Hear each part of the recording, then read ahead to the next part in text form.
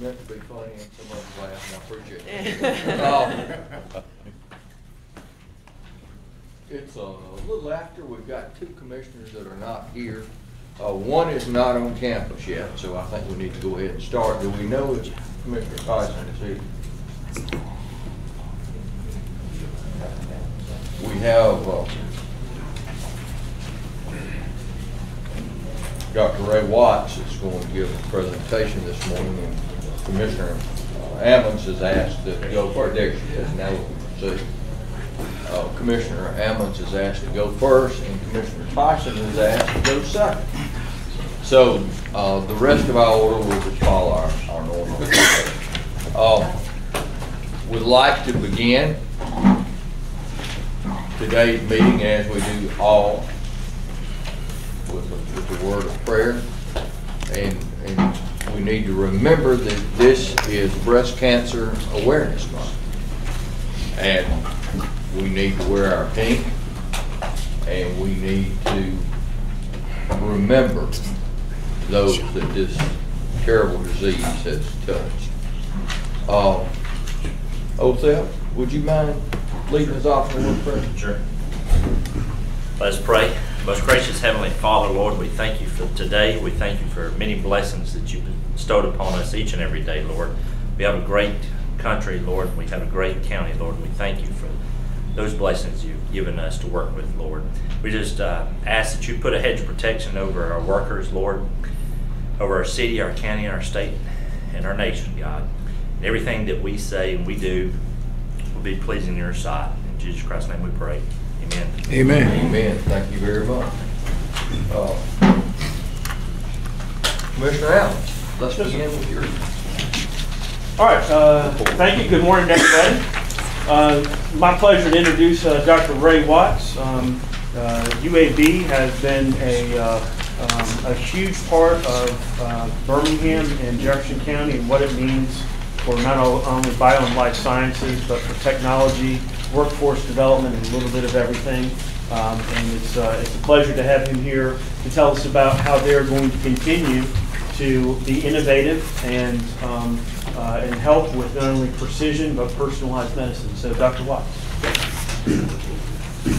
Well, it's a great pleasure to be here with you this morning. I'm pleased to be joined by our Dean of Medicine and Senior Vice President for Medicine, Selwyn Vickers.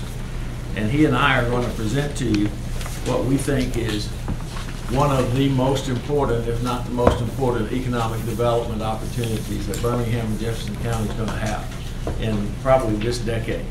We've got some handouts for you. We've got a PowerPoint presentation. But we want to share with you about this exciting new project to build a genomic medicine and data sciences research building at UAB. It's a large project, $70 million construction project, but it will give us a platform to continue to move into the top 20 in NIH funding and well into the top 10 among all public universities where we are now. But we want to do more. This is going to be, this area of genomic and precision medicine is really going to be the foundation for the future of healthcare. And we are fortunately on the leading edge, but we need this facility to recruit others and to stay on that leading edge. So, would you like to start? Thank you, Ray, and thank you for giving Ray and I a chance to present. Um, And as Ray talked about, our aspirations are to continually actually grow our programs not only impact um, the broader world, but really to be important for Birmingham UAB under Ray's leadership, um, as well as with the School of Medicine, has put itself in a unique position uh, as both state schools go. We don't have a peer in the southeast. Our peers are Vanderbilt, Emory, um, and Duke. And the only other state school that we really can count as a peer is University of North Carolina. But the difference between all of those schools is that they're all over 100 years old. UAB's 49. And so we're as big as they are, but we're half their, we're half their age. And so we've grown dramatically. But to stay at that level of preeminence, we have to continually add and develop, both from around technology, but probably most importantly, recruitment of talent uh, to really grow our program. So a large part of our world is citizens of Birmingham, citizens of Jefferson County. A large part is the talent that we bring to Birmingham that allows us to be a nationally attractive and competitive space. So what we're going to talk about today is both a bit of a presentation of what we're doing and then a request of where we want to go. So this outline just talks about what UAB contributes now. And so we want to frame this economically because sometimes we lose sight of that contribution.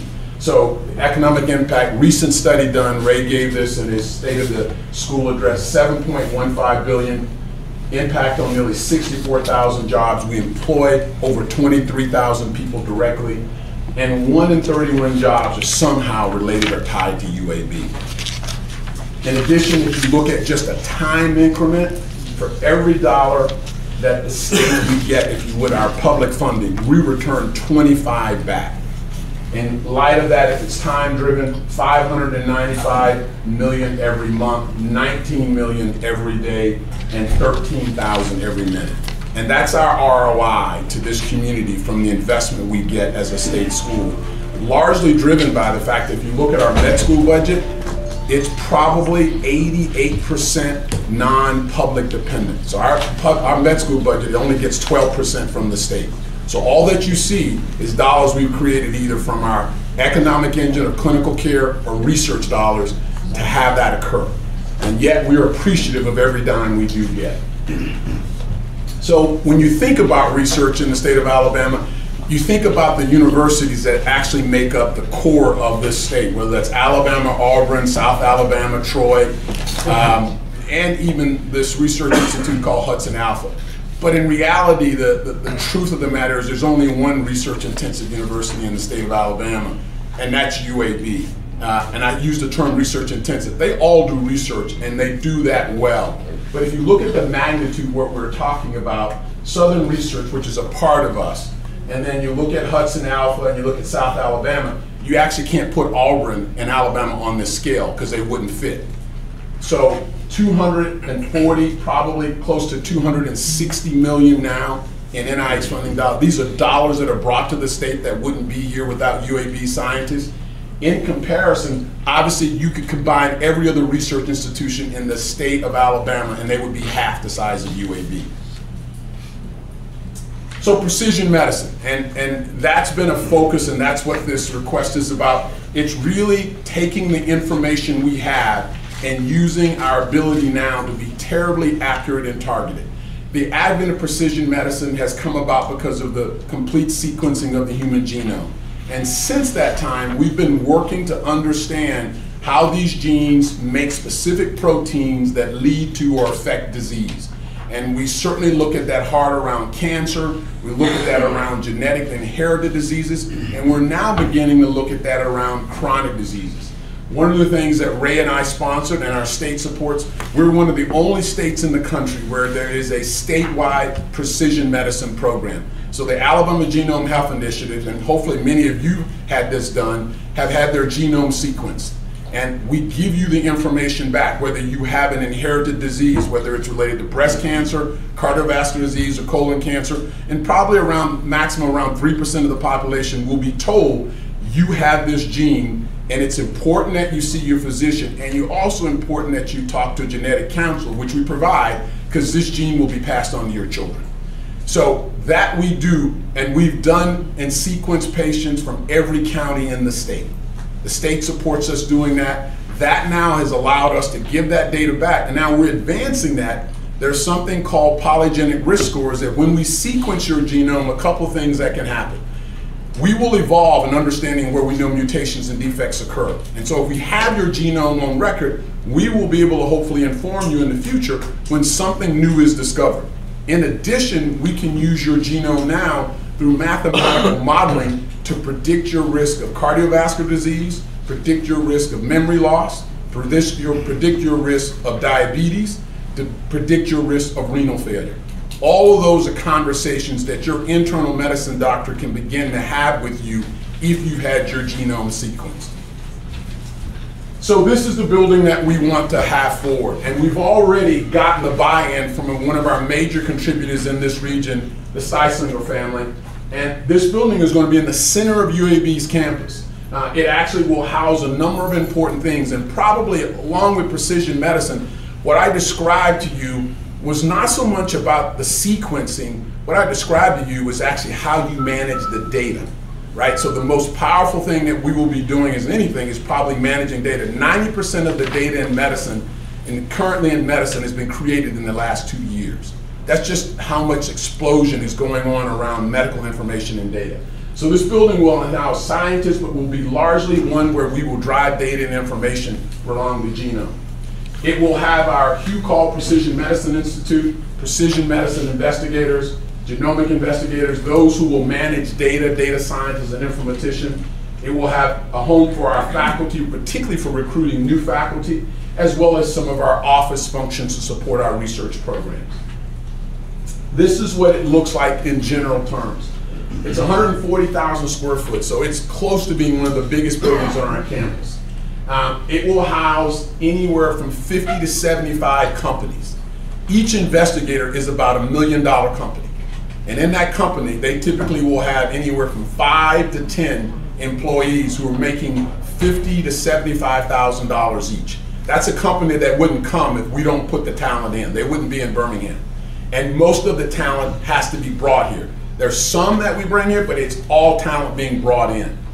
And those will be those who will comprise the jobs. So three to four, three to four hundred jobs in these 75 companies, annual revenue of 35 to 55 million, five-year projection of nearly 300 million if we're successful in getting the building up, and we have been successful in recruiting. Those dollars, for every dollar we put in to bring a recruit, we have to create a set of dollars, almost 50 cents to sustain them. So what UAB is today, it really is a large part of us making sure we generate the revenue, but also making sure we get support from you to allow us to actually execute on some of these dreams and visions. So total cost of the building is 70 million. We're making a one-time request of a million dollars a year times five years from the county. Who's, who have we asked to contribute thus far? We've met, Ray and I have spent uh, two meetings with governors, but most recently with our current governor, who's given us um, as much as any governor can an assurance that she supports this and would be hopefully in the fall and the early of next year being able to support it to what we've asked of $50 million for this building. In general, um, that 50 we've asked, we, know we now have 10 million uh, philanthropy that's already pledged, that's being given now. And then we were asking the city and county for an equal amount of a million a year to build the building, which would be a large part of building. And then we would obviously find the dollars to bring the talent and the researchers in. So this is where it sits. So um, this is, um, this is shine. The, the yellow building to the north is Old Jefferson Towers. Uh, the dental school, as you can see right there, and then uh, the building goes across the street. If you stand it up on its on its on its sort of hind side, it'd be taller as tall as our Shelby Research Building. So it's laid flat, but it is really a large space, and it sits iconically right in the middle of our campus. This is what it would look like by design. It would have a double helix on the window uh, on uh, both sides. This is a night view. And you can see the stairway that's sort of made in a helix as well. And this is what it would look like in the day from the other side of the building. Another night view. And, and we think not only will it be a really iconic space in our city and in our campus, it'll be a place where people want to come and work. We want to make it an attractive spot where people will actually want to be working in this building, and we will be able to recruit them here. And this is sort of a long view of it with the VA on this side, the University Hospital on the other side.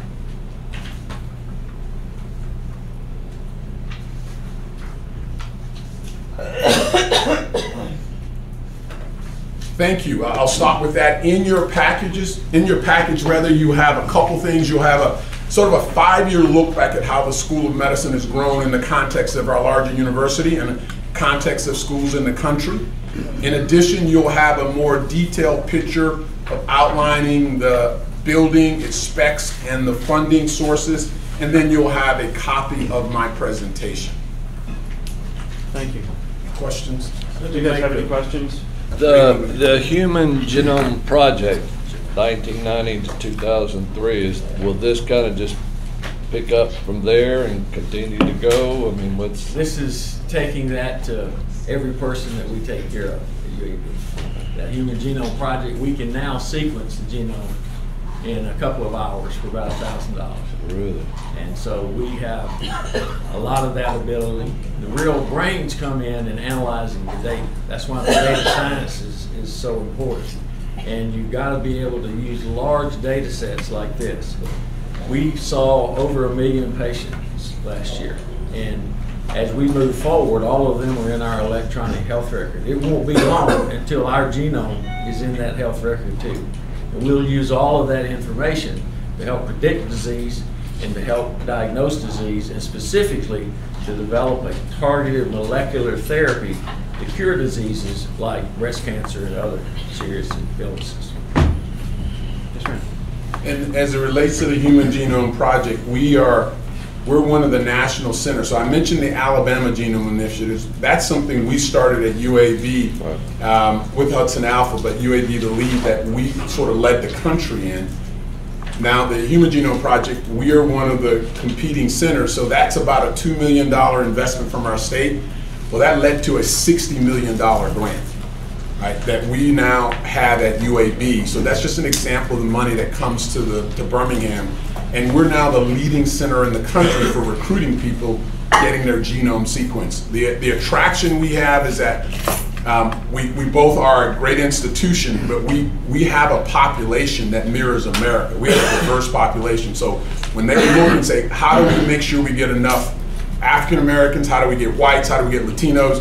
UAB in Birmingham is a place where that occurs more so than any place else in the country. And that grant that Sal was referring to is called All of Us, funded by the NIH. It's going to study and sequence the genome of a million Americans. And we are the main coordinating site for the South, in part because we had already started the Alabama Genome Health Initiative, which we're in third year of. And we pledged and are on track to sequence 10,000 American, 10,000 Alabamians' genome from every county over the five years that we're working through. We're about halfway and we're really making tremendous progress. That's why we got this $60 million grant. And, and what that does is that it makes Alabama, both from its rural counties, Winston, Lowndes, um, Macon, Jefferson, it makes those counties precision medicine ready because they have a platform where that information can return back to physicians and their patients in the both urban and the most rural areas where we can want to treat and make a difference in disease. Yes, ma'am. So I have uh, several questions. Good morning. Good morning.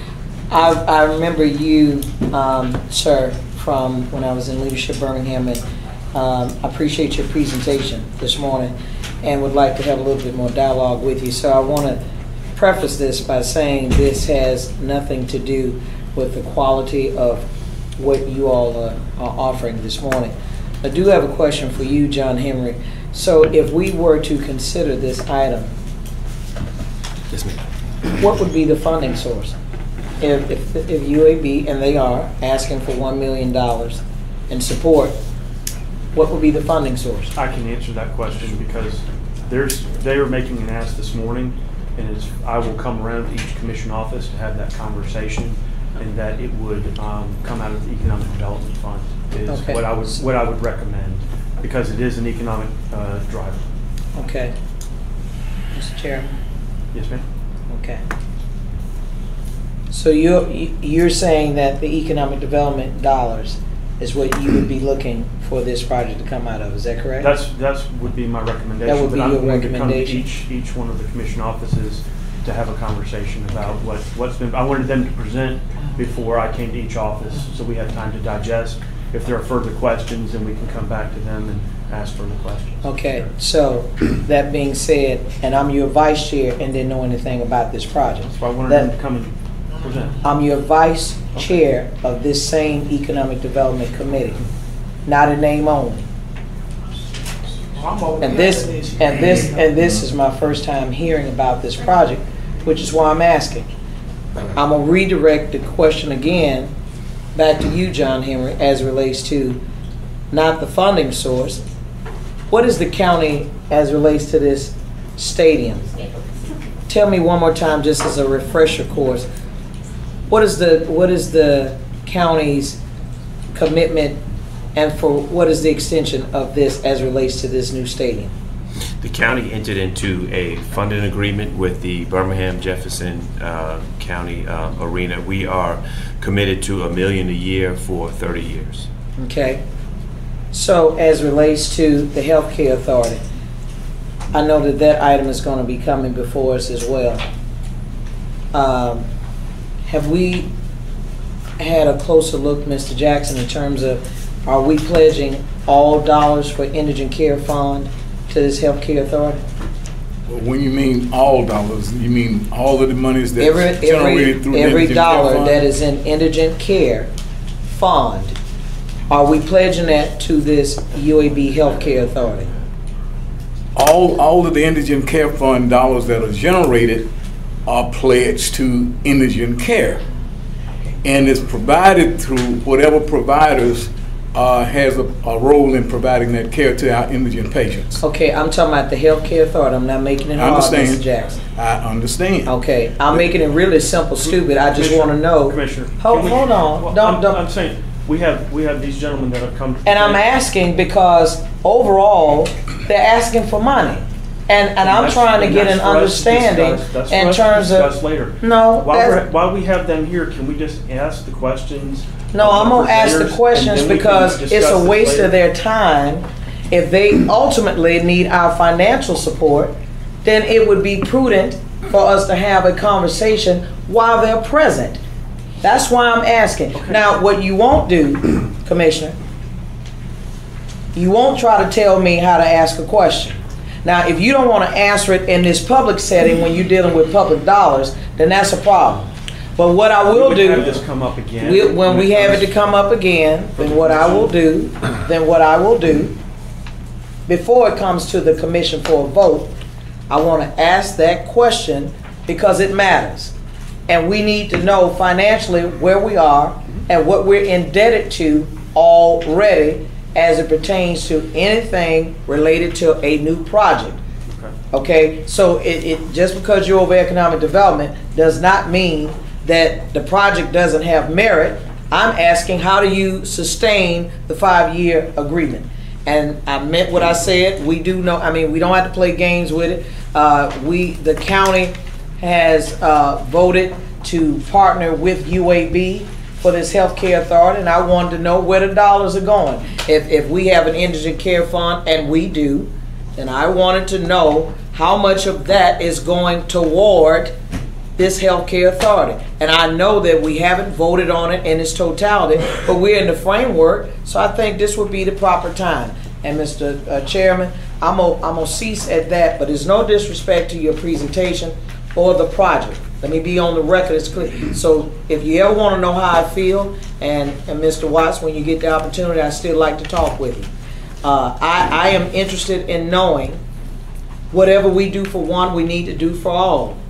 And I am asking these questions because all of them are relative or related to UAB. All right? And we'll work with John Henry and the finance chair. Uh, I have, I have a question. What, what's your timeline on this project, the building, and get it up and running? We've been working on this project for how many years, so? It's three. Yeah, three years, planning it and getting people in place. Uh, The folks we've recruited, Dr. Matthew Might, who's the director of our Precision Medicine Institute, and others. So we are ready for a new, we're totally out of space. We haven't built a new research building since the Shelby Building opened in about 2004. And that was on purpose, to use everything we've got to its full extent first. But this will be the first major project for the School of Medicine in 10 years. And it's going to be one of the most important for the next 10. And we're not asking you for a gift. We're asking you to make an investment alongside us and alongside the state and the city. And we're going to invest over $100 million over these next five years in recruiting the talent to be here and to be in our health system. Commissioner Tyson? Yes, I, I know about the program. I know several people that's involved in the study, but that don't mean that I feel like we should get five million dollars. Can you do this project without our five million dollars?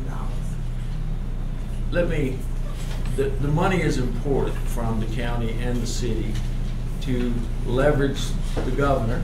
The governor wants to know that our local government leaders are part of the project and are investing alongside with them. And we're gonna invest more money than all of them put together over these next five years. We'd like to start building this project in the next twelve months. But we've been working on it, we've got it through our board. Our board has approved it through the final stage, which takes a year or two. And for the University of Alabama system and for UAB, this is the most important building project that we have. And it will transform. There is no company you can recruit to Birmingham or Jefferson County that's gonna do what this does. And our fifth mission pillar, after education, research, healthcare, community service, is economic development. And this is gonna be the driver of intellectual property and new discoveries that'll become companies and products and so forth. And we wanna lead the country, and we need your partnership to do that. Yeah, no question. I know that you said it would bring jobs. I know that they, for regular people, it would probably be clean service jobs or something like that. Uh, and it might not be a living wage job. So a job isn't a job. Uh, I feel like. And, uh, you know, I've had several talks with you about UAB participating in the, uh, in the underserved communities in, in, in, um, the city of Birmingham and Jefferson County And we do. Not at the level that you should be. And that's a talk that we can have outside of this room because I don't really, uh, I'm uh, gonna know send we you don't have some- that kind of time. I'm gonna send you some data on that. Okay, all right. Commissioner Stephens, you have a question? I do. Uh, Obviously, this is an economic engine and will have great economic impact on Birmingham proper and Jefferson County as a whole.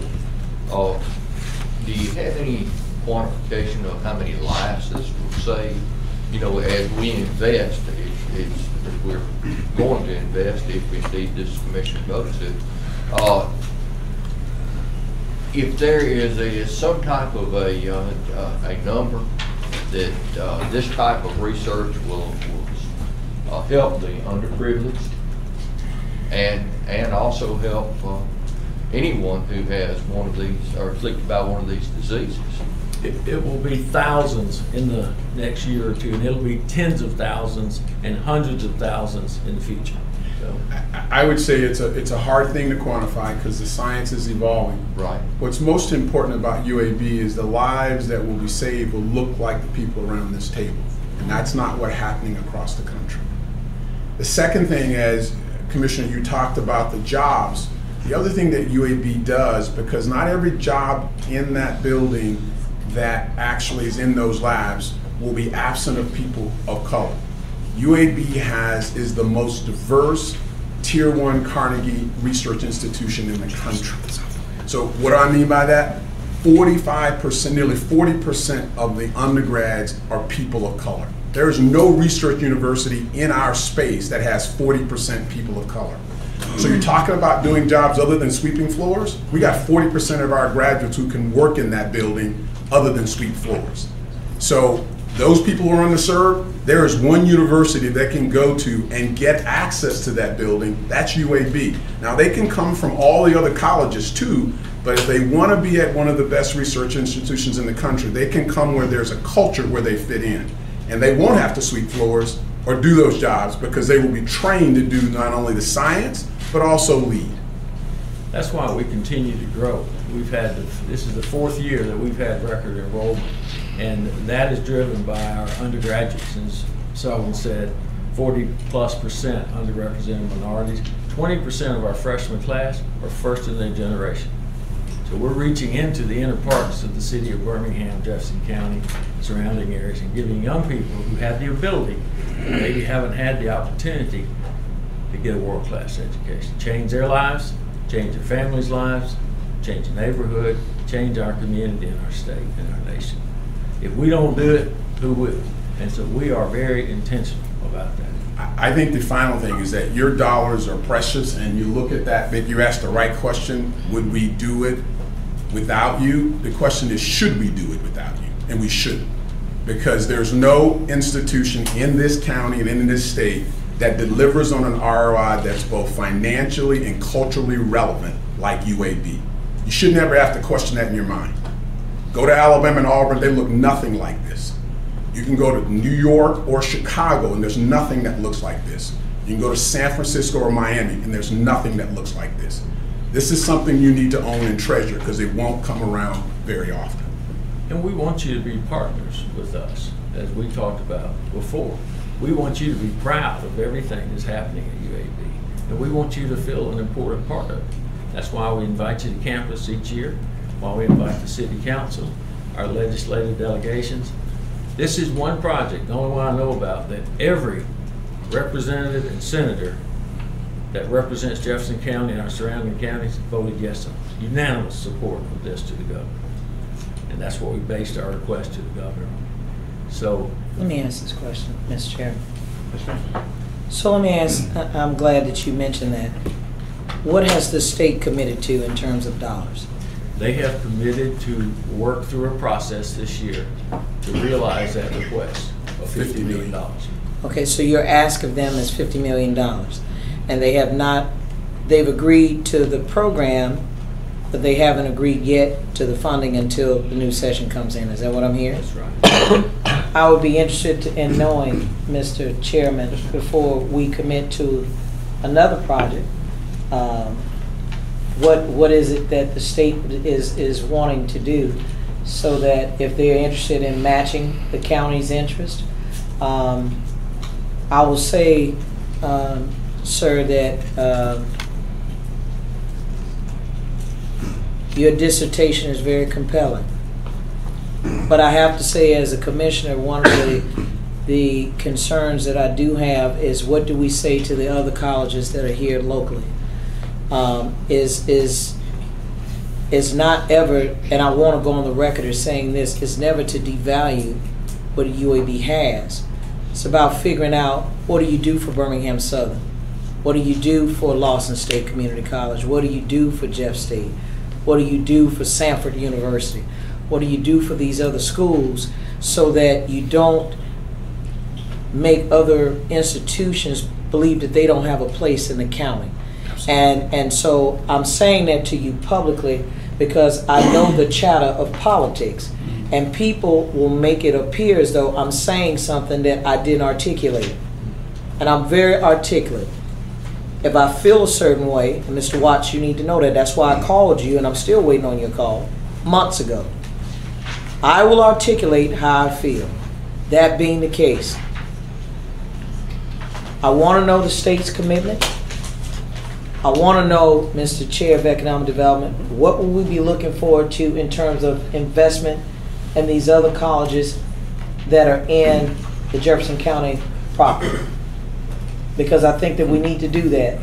We're going to support one, we need to find a way to support all. And they all have some type of, of, of program at its core that will meet everybody's needs. And that's, that's just what I wanted to say.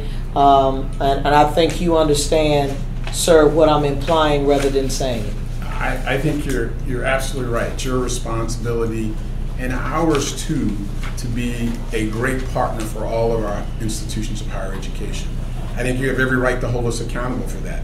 Um, and certainly as a part of our DNA, we've wanted and make sure as opportunity gives us that we actually are good partners. And it's that capacity to do that is because of our size and our scope. So whether it's having somebody from Samford or Miles or Lawson State come to train regarding any healthcare scenario or partner to go to our schools, we have the breadth to actually make that happen for them. So I, I, I feel confident that we will be good partners for every academic institution and that part of the argument is that an investment in us is not just about UAB. You have every right to hold us accountable that whatever you invest in us needs to benefit everybody in the higher education space. Well, let me, let me just say this in closing. Um, If I were here and I had my rathers, and there's water under, under a bridge now, when I think of the value of this kind of program versus investing into another open-air stadium, your presentation would have gotten my support hands down. Because this is what changes lives. And everything cannot be about the stimulation of the economy. What you all are offering to the world, you just happen to be located in Birmingham and Jefferson County, are life-changing initiatives that we can hang our hats on. So that's why I asked earlier in terms of what was our agreement there? Because again, I'm more interested in really what you're offering today than had we looked at 30 years and we looked at $1 million a year. I can imagine that this will be something that's going to forever evolve into some other type of, I perceive, uh, that, that when one want to study and know about their own genetics, instead of doing like a, uh, uh, where you can mail off and find out your genetics, you don't have to do that. You can go right here in the comfort of your own county and you can access that information. I think it's going to be crucial even when we talk about the penal system. I think it's going to be very life changing when we're talking about um, uh, doing some different things that maybe even providing a cure for cancer, something that we haven't been able to do. But I think the UAB can do that. So I just wanted to say that for the record. And if either of you are interested, you and I have talked several times offline, you're interested in having my number, I would be interested in sitting down with the both of you individually or collectively. I will be your greatest cheerleader with the understanding that I know what, what is being asked, I know why it's being asked, and I will just say this in closing, Mr. Chairman. Whatever you do for one, we need to find a way, if not on a level of $1 million a year, we need to be consistent in how we support other institutions. Okay? Thank you. Mr. Patel? Yeah, uh, Dr. Watts, Dr. Vickers, uh, this is a great program. Very excited about this program. I was one of the first ones to sign up for it. One of the reasons I did is I'm a cancer survivor, and UAB literally saved my life. And I can say that uh, we have you at, uh, at Cooper Green. We're, you know, the patients at Cooper Green who volunteered to sign up have signed up at Cooper Green, and we're getting a good number of folks from Cooper Green uh, into the program. And I think that when you look at what's going to happen in the future in solving these issues with cancers and genetics is going to be very, very important. And uh, congratulations to UAB for what you're doing on this project. Thank you. We look forward to the day in the not too distant future of sequencing the genome of every cancer that comes to us for care and looking for specific molecular targets that do have a curative potential for those cancers. That's what this is about. So the NI, the country has asked us, because when they look at their precision medicine project, because it's expensive, um, it's costly, you can imagine who's excluded, right? So most of the trials don't have people of color. So when they actually want to figure out how to get people of color included, they come ask us. Because we actually have a level of relationship in our communities where people enroll and they have a measure of trust of our institution. So what's important about that, for our medicine to be relevant, it has to have everybody in America included. If you have it only for a segment of our population, it won't be relevant for everybody who lives in the country. The strength of UAB is that it actually does that better than any place in the country. It can include people who look like Americans across the landscape, uh, both those who have and those who do not have. What I, what I see is a, a lot of the research is like, hey, well, let's try this on this and see what happens. Let's try this. It's a trial, basically. What, what, what this is doing is like, hey, we've identified these markers. These are the proteins, these are the chromosomes, these are the, the DNA that we need to target that marks so that that research can be then directed toward that. So I think exactly that's, I think that's huge. That's what the precision part. It's also called personalized medicine because we take your genome, sequence it, and look at what you have, and then how can we treat you more effectively, prevent, prevent diseases in the future, and cure diseases like cancer. I may, I may not want to submit mine. I'm scared what y'all find. We weren't, we didn't, we didn't plan this for you guys to be here um, in the- the beginning of October and, and Breast Cancer Awareness Month, but I think it's very timely. Um, And I appreciate you guys being here, and uh, hopefully we look forward to a good partnership uh, with you. So Thank you, thank you. Thank you very, very much. Appreciate it. So, in the absence of, of the president, I know that, I'm not done. what would I you? I have one more. Okay. Um, This is also, um, is Sheree, um, this is also, October is also um, IT Security Month. Um, And I'd like to ask Sheree just to do a quick one or two minutes on um, uh, IT security. and what- what- you welcome.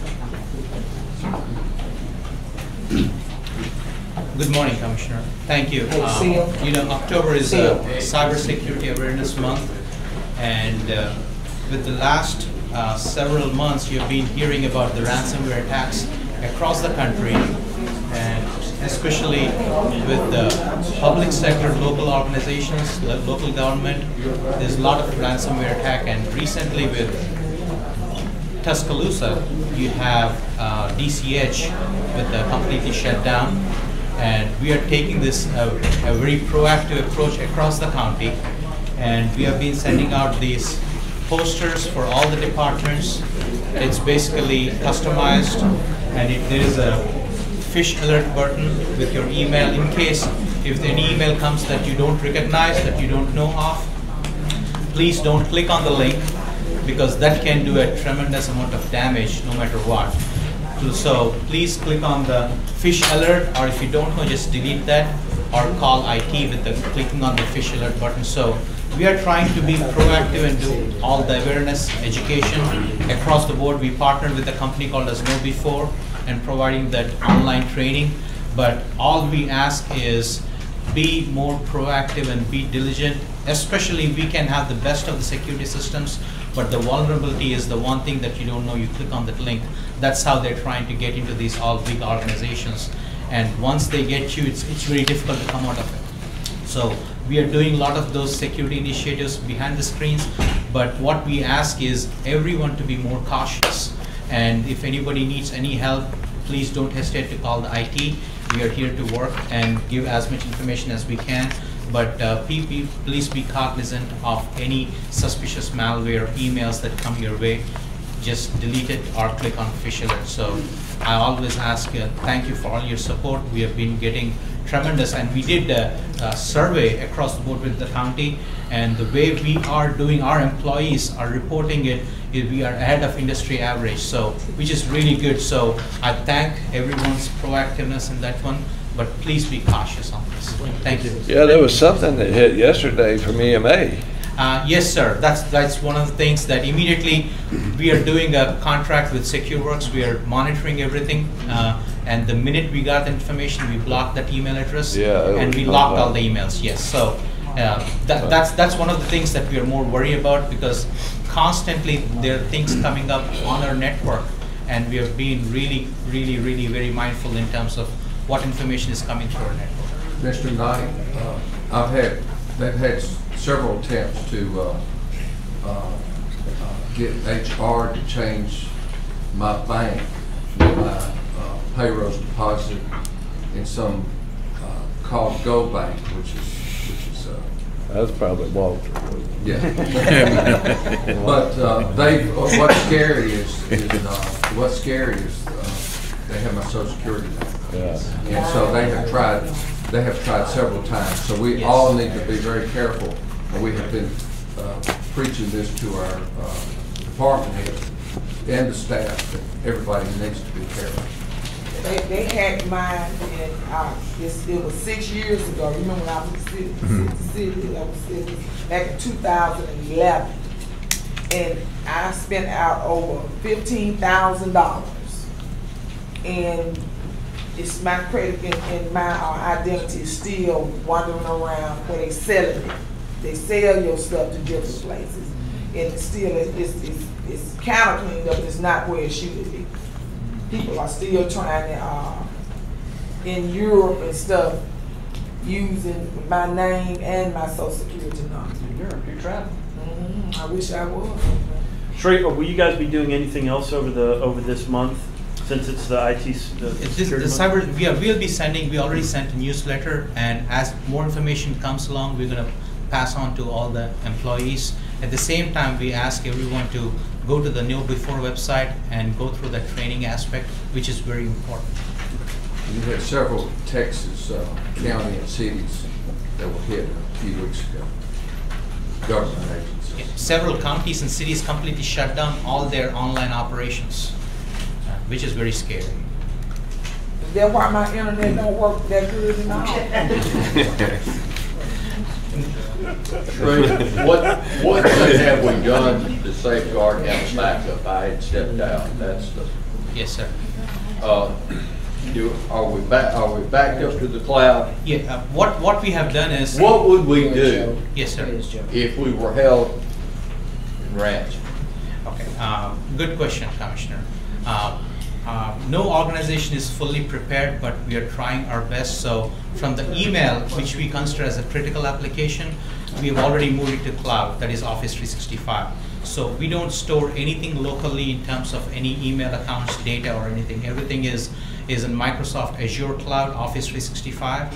At the same time, all our major we categorize it tier one, tier two critical applications. All of those systems are in our data center in IT on seventh floor, where we have a direct replication data in Bessemer, in Valley Creek, which is our hot DR site. So whenever information comes onto our data drive here on, on servers, we immediately replicate it in our DR hot site. And we have, from there, we take backup tapes from there.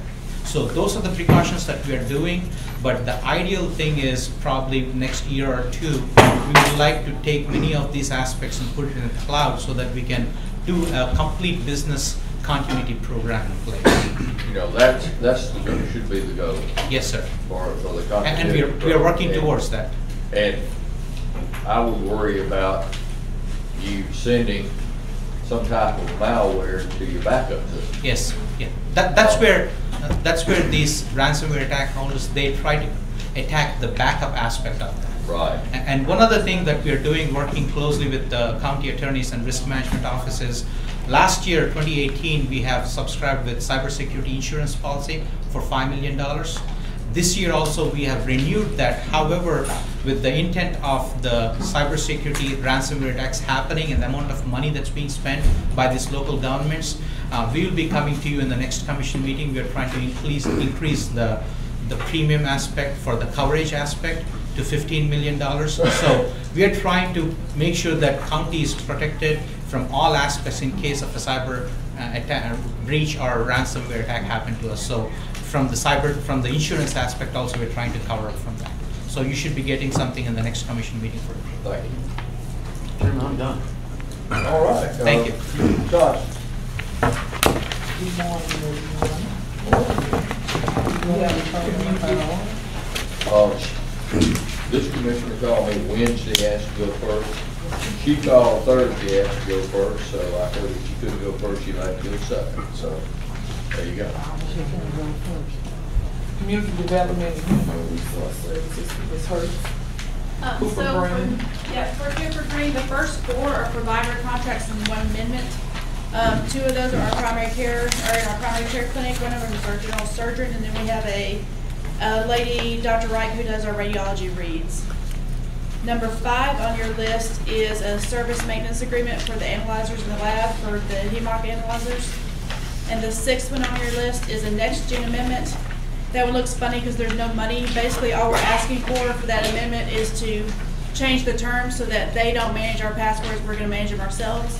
Just because this is for our, um, EMR in the, this is our new EMR that's coming on board, and we can't wait forty-eight hours for them to turn around a password reset, for example, so we want to be able to do that. So, Now, this um, surgeon contract, that's post-op surgery that, um, she really does surgery evaluations, uh-huh. select six, and a few other, like, she might do a breast biopsy on occasion.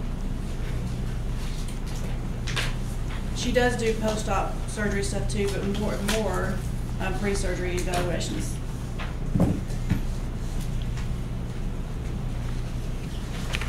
Move one through six. Been first and second, all in favor, say aye. Aye. One through six. Okay, uh, Dr. Hamilton at the uh, Department of Community Service and Workforce Good morning, Commissioners. We only have one item uh, this morning for accelerated risk management. Um, The resolution authorizes the Commissioner President to execute a contract between Jefferson County, Alabama, and Accelerated Risk Management to provide lead-based paint detection services in support of our housing rehab program. Uh, We are required to lead-based paint uh, test all houses that were built before 1978. Move it.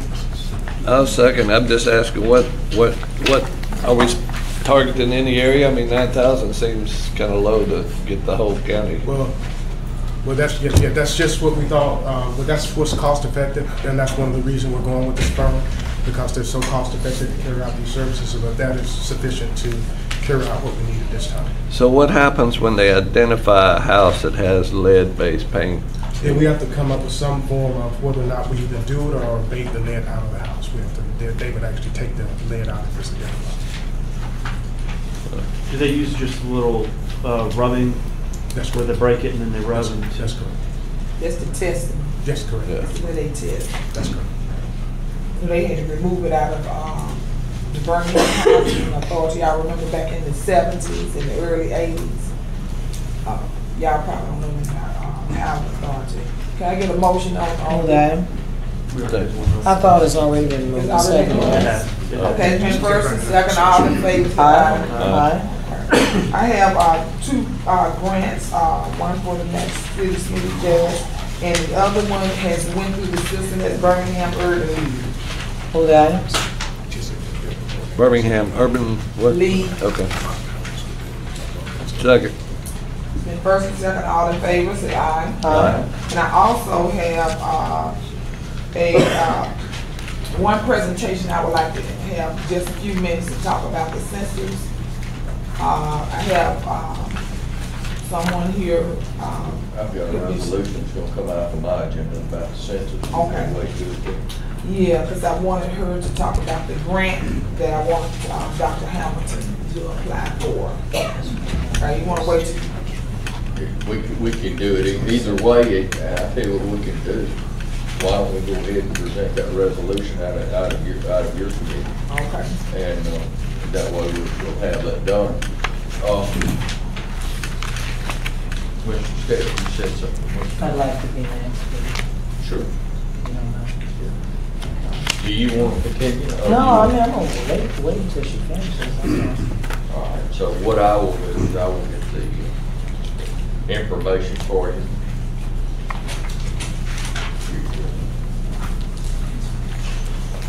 It's called the Complete Count Committee. 2020 Census Drive Complete Count Committee. And, um,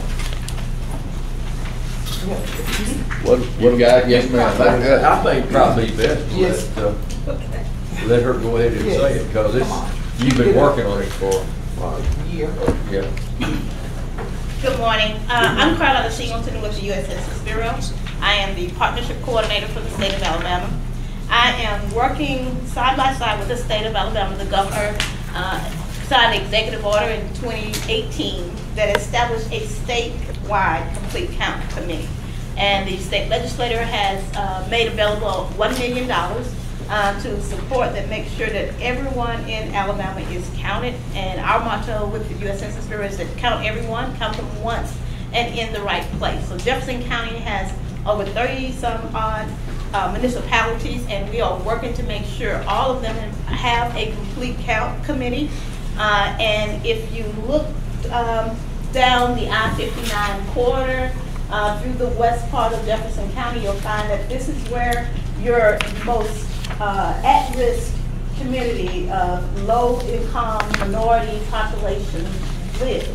And in, across the state, across the county, also you have those areas in Tarrant, the city of Tarrant and Center Point, uh, in Homewood and Hoover.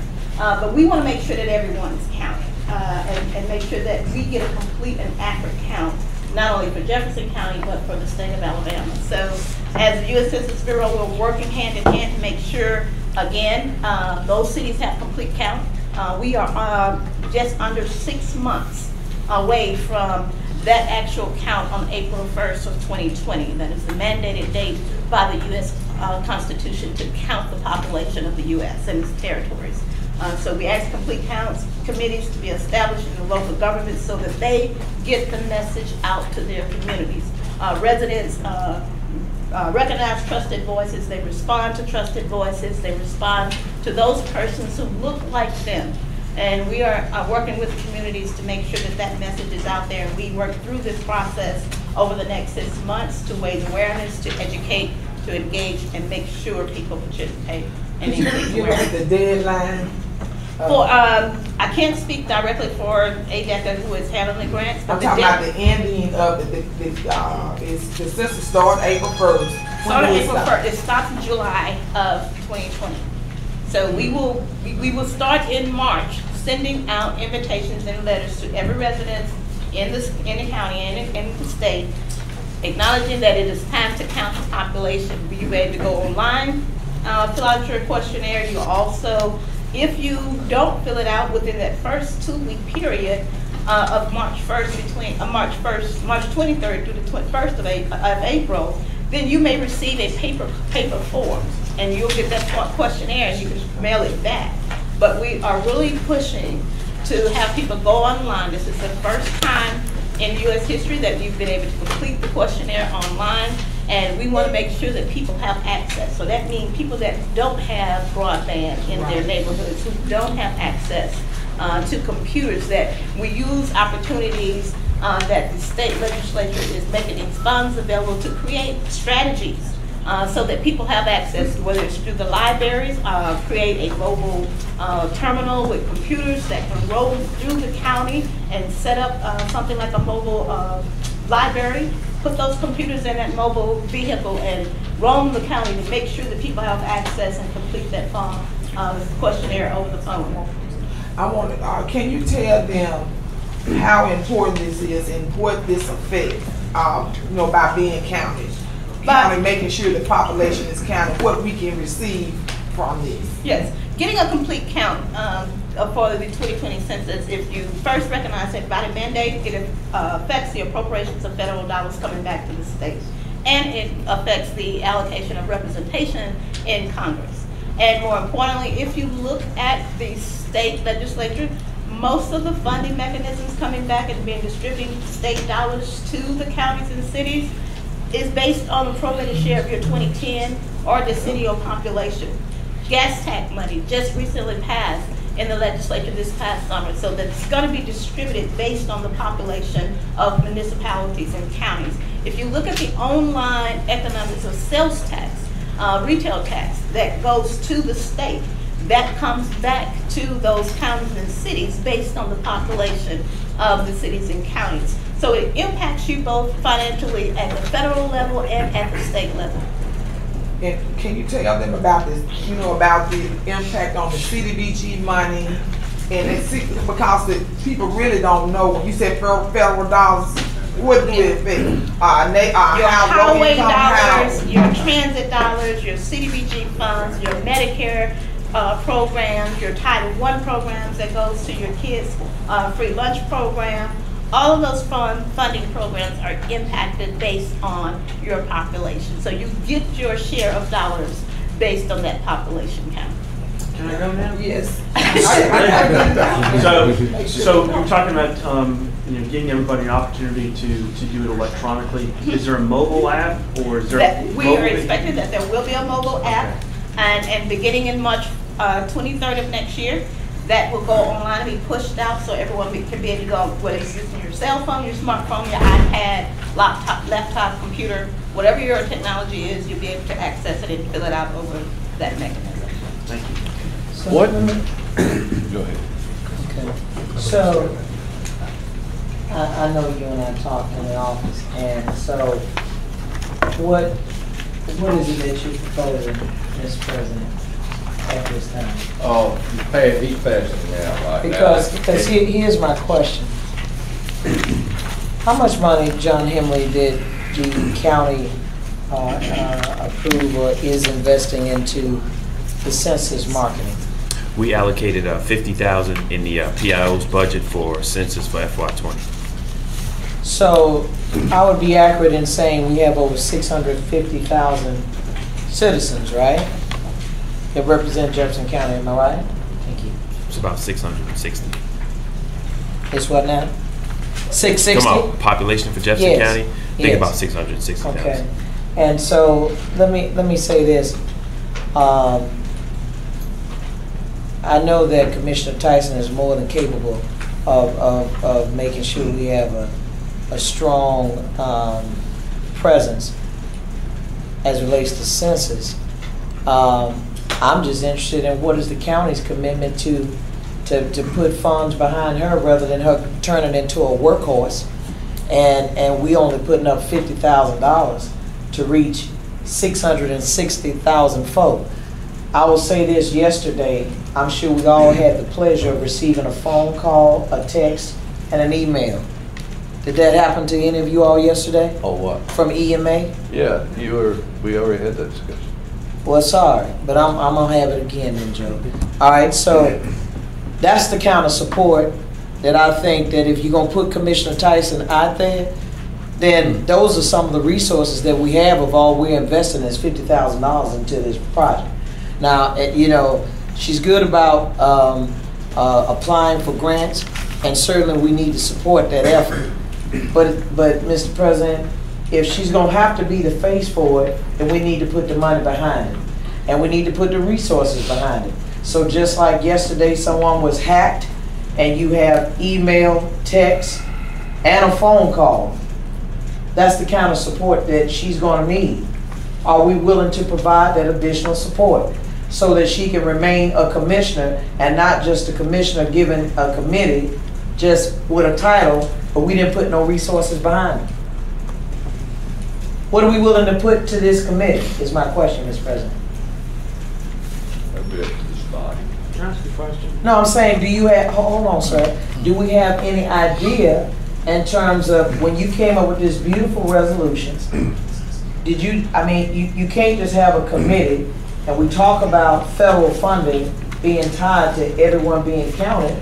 My question is, did we not think of what it's going to cost to effectively have a campaign, not like the 200th anniversary mm-hmm. bicentennial campaign? But if we got one with folk who know that if you are an ex-felon, you still need to be counted. If you are a person, man, woman, boy, girl, infant, you need to be counted. That costs money. Are we willing to put some money behind this committee? Where would you propose this money to come from? I, I would tend to think this is your resolution. This is your appointment. You appointed her to this committee. And you want me to determine the funding source? Absolutely. Gotcha. And not just out of your discretionary. No. It needs to come somewhere out of general fund I- I- at a recommendation. Yeah, sure. And, and not just on economic development, because you know, I think y'all think I'm that's your with you. little Now- Now pie. you're qualified. No, I'm not qualifying you. What I'm We're gonna saying get you is, help. Uh, you gonna get her some help, Person. Well, not I'm gonna her. help her. You're gonna help. You gonna get her some help, your colleague. I got you, I got you. But Okay. Everything we do. So you're not gonna just stick on a committee when, No. when, when, no, I'm just saying now, Mr. President, you don't just, you don't just put on a committee and then give her this kind of, uh, task and knowing the amount of people that we have, and we're not gonna put no money behind her to support her. We still gotta support her. We don't want her to, to not show up for committee meeting and commission meeting because she's been overwhelmed by something that's unrelated to what's on the agenda. I understand. Okay, and I understand too, I understand you too. I, no, I'm, I asked to look for this establishment of this resolution for a complete count committee. Uh, it- It says, whereas the United States Census Bureau will conduct a decennial uh, census in the spring year of 2020, and uh, we need to count everyone. It's important that that's done. And there's hereby established an ad hoc committee, notice the Jefferson County Complete Count Committee. The Commission shall appoint a chair uh, city committee, the county chair, and I, I will, I am going to recommend that Commissioner Tyson be that chair. It's not included in this resolution, but I would like to add that to that. The committee chairman authorized to apply for grants on behalf of the commission, and I believe that you're already underway doing that. So I think that uh, we have the right person, we have the right method, and with, with proper funding, we can get it done. The committee is empowered to establish a subcommittee do which it may carry out its functions and purpose. And uh, each commissioner has it. Meeting on this committee shall be open to the public. The committee shall automatically dissolve with no further action of the body at the conclusion of the duties of the committee. Uh, Like to offer this as. Oh, Hold on, Mr. President. So let me make sure that I, I'm reading this correctly. You're saying it's the body, it's the work of the body, not the work of the president, who is appointed to this committee, am I correct? You're very correct. Okay, because I didn't know about it, I had only heard, and I'm in full support, let me just say this on the record. I'm in full support of, of Commissioner Tyson. Uh, it would have been nice that before you, you put that to her, that after you put it to her, then at least that the commission is, is gonna vote on it as a body, because it's a commission, not a president appointment. That's the reason why I'm saying, Mr. President, so we don't play no head games with one another. Then if you're gonna put her out there, that's why I'm saying, I wanna make sure that we're putting adequate funding out there so that she can have the support that she needs to do what she needs to do. Sure. That's all I'm saying to you, Mr. President. I'm here. Okay, and it would have been nice, you know, we, we talk about communication and put all our feet under one table, and for some reason, the, the foot always do the peekaboo. And I wonder who's doing that. It's certainly not me. So, uh, while we're doing this, I'd also like for us to put a dollar amount associated with it, since seemingly, you know where all the money is. Well. And it'll be, it'll be, it'll be nice that by Thursday, that you put some money, uh, to, to this resolution, so I'll that she can the have full support. No, I'm, I, hold on, Commissioner. If we're gonna move the resolution, move it so that there's money attached to it to support this campaign. I don't know that we could do that. Yeah, oh yeah, we can, we can do anything, like, you know, Well, a, uh, you, what you need to do, I'll, I'll accept your motion, do you want to amend that motion? well, I, I, would like to amend the motion so that there is a budget attached to this resolution to support Commissioner Tyson's effort with this census Oh, cap- Okay, we have, we have an amended motion, we have a second. Okay. We have a second. All right, let's vote on the amended motion. The amended motion is to adopt this and to fund it. And put some money in. Okay. Can we also- I can we hadn't- also I hadn't add- determined the funding source yet, we haven't determined the funding source. yet. Public and private dollars. Uh, well, I. I'm talking about the we- public We can't dollars, speak for the here. private, we can only Do speak the for what's in public. our general fund budget. Can, can I add to that amendment that we had Commissioner Tyson as the chair of that committee? Well, we've already adopted that, that's what we're Just saying. making sure that it- her name's not in. No, there, she, she got friends on this side. All I'm saying is we just wanna make sure that there, that there's funding, that there's funding with, with- with Cooper Green, she didn't. So I'm just asking if we make sure that there's money attached to this resolution. Yeah, you ain't gonna love her harder than I do, cause I've been with her. Okay, so we, we can put a, a determined amount of money, uh, but, but she needs to have money attached to this campaign.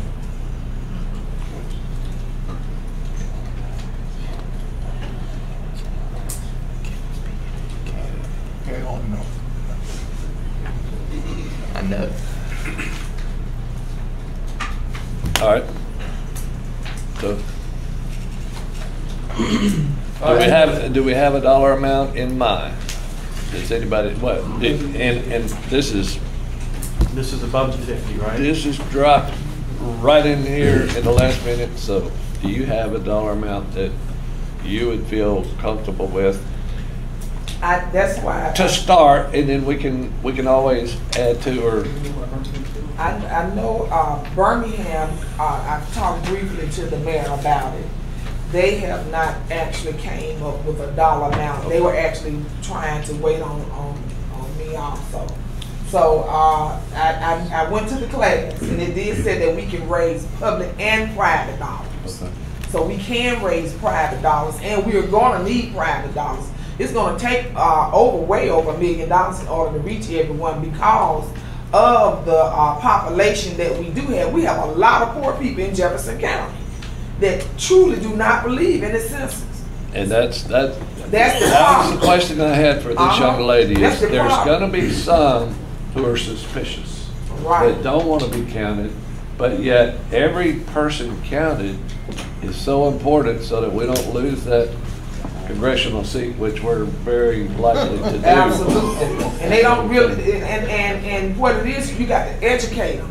I, I went out, I told you I've been working, uh, on this for a, uh, a couple of months and, and, and, uh, the president and Scales, I talked to both of y'all about this.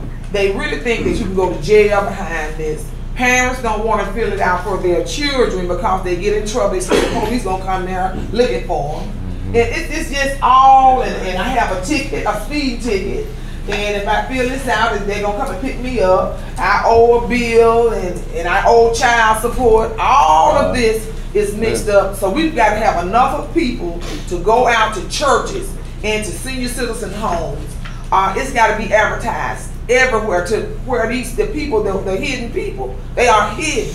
They don't want to be found. But once you talk to them, they will fill it out you know, but you got to actually talk to them and you got to be, you know, able to, to relate to them. And it's, it's not only because in the black population, ma'am, am I, am I right or wrong, are the ones that's the most undercounted. Correct. Okay, now, and, and, and it is.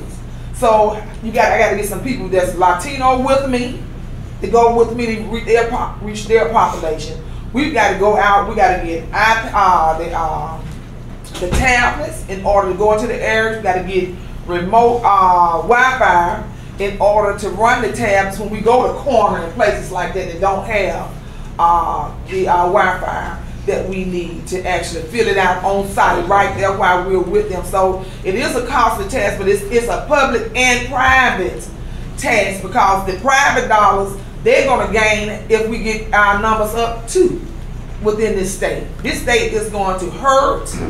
And if we do not count these people, New York lost trillions of dollars because of the black population being undercounted. And it's going to happen here in Jefferson County. We take it as a joke, as a Republican and Democratic issues and, and have and have not. It's we're all going to lose. Whether you Republican or Democrat, if these folks are not counted. I agree. So, So we got to cover the whole county. county. We got to wrap a bus and go into the, uh, wrap a van and go into these communities. And you got to have unique ideas, and you got to, you're gonna have to hire at least two or three people that's gonna have to be on payroll in order to complete this, uh, this task. This is the first time I've done this.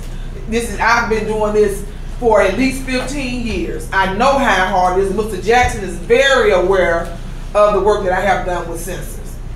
So then, do I need to uh, amend my motion to, um, uh, to say, Mr. Finance Chairman, uh, that, uh, that we support the resolution, Commissioner Tyson uh, being the, the chair representing Jefferson County, uh, with a funding amount to be determined based upon the needs presented, I second that.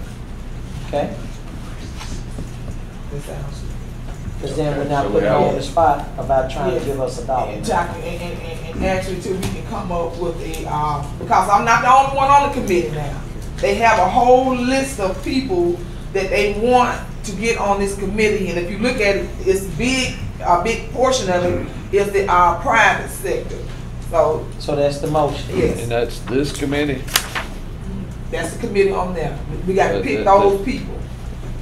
Is there already a committee established? No, Oh, okay. This, that's what this does. just that. And thi- this lines it up, and um, thi- this came uh, as a concerted effort, and Well, we uh, just from want to the make county sure that, manager's office. Mr. President, but there's a motion on the floor, okay? All in favor, say aye. Aye. Because we want this commission to know all of us are on board with supporting her. Okay, it's a commission effort. Thank you. All right? Can you let me go on and, because I don't have Please. anything with my report, Mr. And President. thanks, President, because I, I asked him, I'm just, That's saying, I asked him, because I really know how important it is that we count Jefferson County, hard, That's hard to reach. I'm with you, I'm gonna support you. All right, so for, um, uh, for Public Works, Community Service Intergovernmental Relations Committee, uh, my, I, we don't have any items. I did have two items that were in the, these, uh, um, uh, both are, uh, community grants. And, uh, and so I wanted to move those items at this time. Those are the two there, Mr. President. Everyone should have a copy. Do you not have a copy? All right, can we entertain a motion at this time, please? They're both are community grants. Commissioner, are these in the system? Yes, yes. That's what I said when I introduced them. Right. And the community grants are, um, one to the city of Birmingham Park and Recreation for fifteen hundred dollars. And the other grant is to the Dannon project for a grant of thirty-five thousand. Yep. So I'd like to entertain a motion at this time for two community grants, please. Second. It's been moved and properly seconded. All those in favor, let it be known by saying aye. Aye. All right, thank you. So are we able now, I guess? Go ahead, Mr. President. That ends your report. Uh, Yes, because I know that there's an item that will come up uh, as relates to, as a matter of fact, I'll go ahead and, and introduce this other one. Uh, This is a resolution, uh, and my understanding, law department made sure it was distributed to everyone that should have gotten and someone signed for in your office. Uh, This was, uh, and it reads, this particular resolution and if you don't have it, I'll share the one that I have. I'm reading strictly what the law department passed out. Uh, It should have, should have come to your office on October 4. See that? October 4. Uh, And it said, now therefore be it resolved by the Jefferson County Commission that the approved community grant fund for fiscal year 2020, which allocates the use of $225,000 per commissioner, be be used at the discretion of each individual commissioner to fund community grant projects or infrastructure projects within Jefferson County in accordance with the processes and procedures outlined in the Administrative Order 18-1 and the previous resolution of the commission approved on June 20th, 2019. Uh, I will entertain a motion, or if there are any questions, or if there are any other uh, submissions. I know that the president uh, had seen, if my memory serves me correctly, there were like three versions of that same one resolution. And um, uh, I'm open at this time if anyone has anything differently. Uh, I'd like to also, before I open it up on the floor, uh, Mr.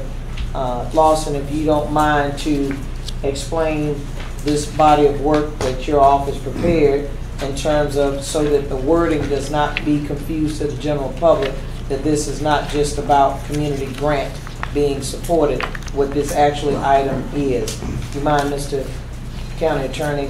I think that, that resolution is kind of based on the conversations that went back and forth at the last meeting, and it's pretty self-explanatory. It just says that there's two hundred and twenty-five thousand dollars that's appropriated for each commissioner, and this allows each commissioner to decide whether they want to spend that money either whether it is uh, spent with community grants, but using the processes that you have in place with either the community grant process or the infrastructure process.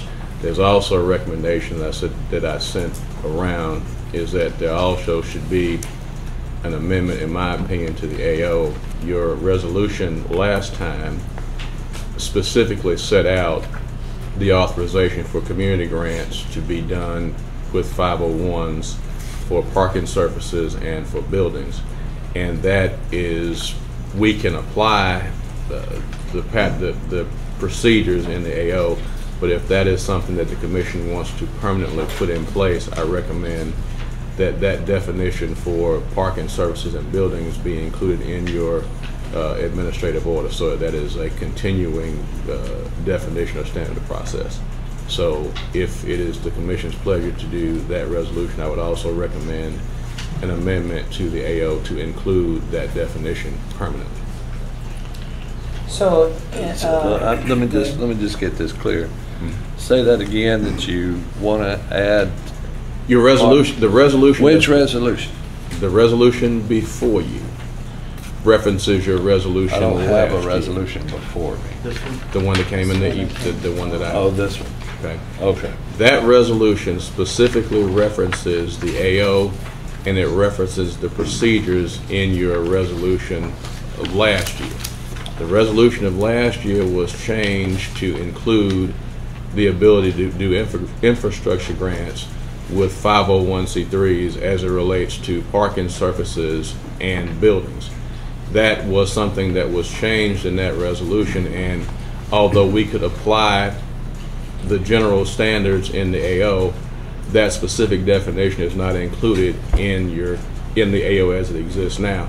So my suggestion is that if that is going to be a continued practice of the commission, that you're going to allocate monies to uh, nonprofits, that that definition that is in your last resolution be included and added to the AO for permanent operation. Well, where's the sample of where it would go in the AO 18-1, I guess I is sent, what you're? I sent that also with your, with your memo highlighted in yellow.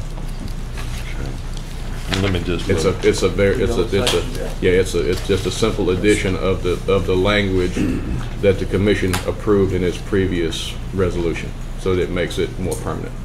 And, and there are three choices as, as we move forward. We can A, do the AO and the resolution just as it was and add it to 2020. We can make some changes to try to be more encompassing with, with the needs of our districts. Or we can make the change where it's totally at the discretion of the commissioner to, to how that money is spent, whether it's five oh one C threes or whether it's, uh, infrastructure. Now, uh, Commissioner Steele very articulately stated her position, what she needed. I would like to, uh, I promised her and promised the commission that I would come up based on our last meeting, that I would come up with a, hopefully a compromise where it would take care of everyone. So I'm going to read that and present that, and it's up to the pleasure of the commission. Do we have that before us too, Jim? Uh, I think you do, Commissioner. I don't know what I've got, and what I don't have. Here. Yeah, yeah, I've got that. Okay, yeah, that's the one that uh, I circulated last, maybe Thursday, Friday. Anybody else need it? Okay. I'm gonna read it because I think it's, and highlight the area. Can we get one from the minute clerk? Mine are too. All right, we, what, what we talk about, where is the Jefferson County Government Commission approved the community grant of two hundred twenty-five thousand dollars, uh, per commissioner for fiscal year twenty, or a total of one million, one hundred twenty-five thousand, whereas the county commission directs how these funds shall be used in accordance with the county administrative order eighteen one as amended and the rules of Jefferson County Personnel.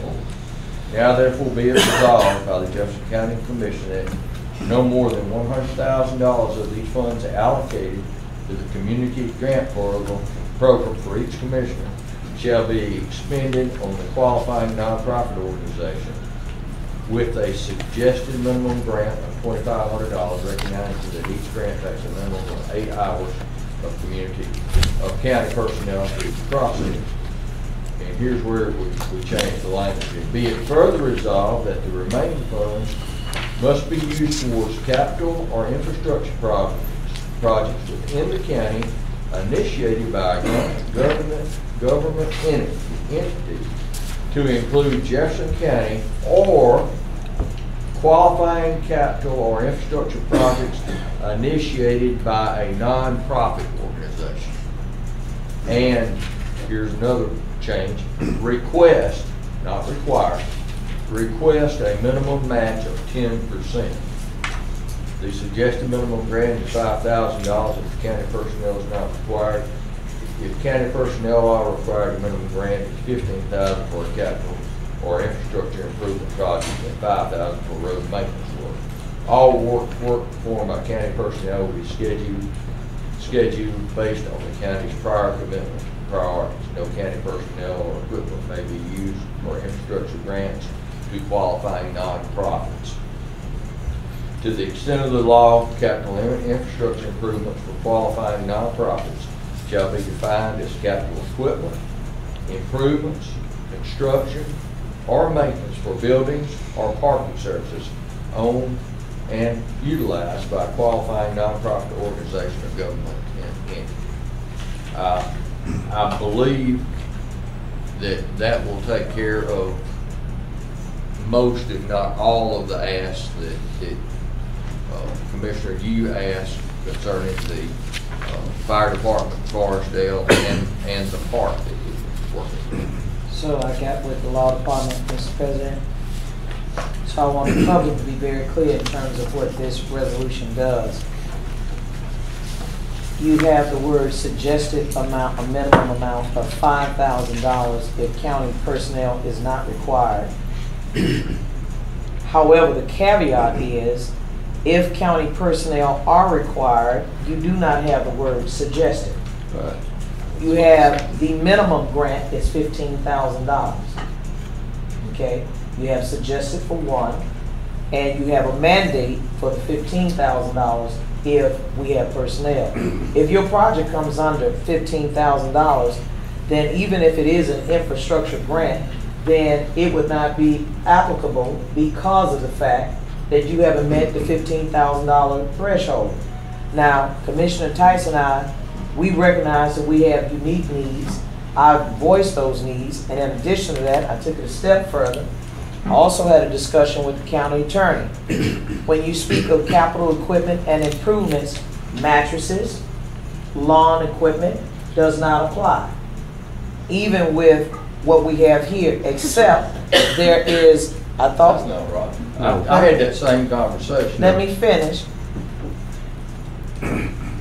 What we last discussed, Mr. uh, uh, County Attorney, is that we need to quantify what is capital equipment so that it does cover That those is, items. that is correct, that there needs to be the definition added of what that That's why I said you let but me not- finish. But not that lawn equipment or mattresses don't apply because we don't know yet what the definition will be. No, but- Uh, If we're gonna use the definition that is either the financial uh, definition that I think Mr. Henry could probably address better, but I think that's generally uh, equipment that uh, lasts for more than a year. But otherwise, uh, we haven't, and this resolution does not specifically say what uh, capital equipment is. So I want to make that clear. I did, there's no, there's no statement as to what doesn't qualify because I don't know yet what that is. Okay, and that's why I asked when you were in my office today, I'm not gonna put words in your mouth. I'm not gonna impugn your character, that's not, that's not where I was coming from. I am putting on the record that I had a discussion with the law department. And the bottom line is that we've had projects in the past, and my staff is behind me, and we know with the Forestdale project and some other projects, the law department kicked it out because it did not cover or in between capital equipment and improvements, which is what my That that is conversation was with you. Which is why I'm saying that this resolution, as it reads right now, does not take care of that. Under the infrastructure part. Yeah, now, now, the Yeah. fifteen thousand dollars for capital is needed and necessary because it's, you can't bring county personnel, uh, for, for a project without it, at least, with, without it having at least fifteen thousand dollars. That was, those were minimums that were established through, uh, Mr. Barker, thinking that we, we had to have economies of scale. Now, if there's any, it doesn't say anything about anything that's any less than that. Uh, you can use that, use eighty-five oh one C three for that.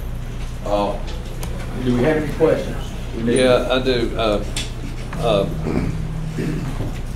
How many, give me an example of a county personnel project that would qualify for the fifteen thousand for capital infrastructure.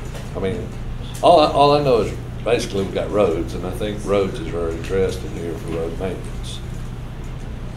But what's an example that we would use person, county personnel, um, to require the threshold of fifteen thousand? replacing a pipe or culverts or putting in, uh, concrete curb and gutter or something like that. I think the initial.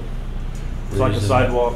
Yeah, sidewalks, that was kinda in there, so we would, we would spend more money on a project and, and not quite so much on a lot of processing of many little one thousand dollar grants, for example.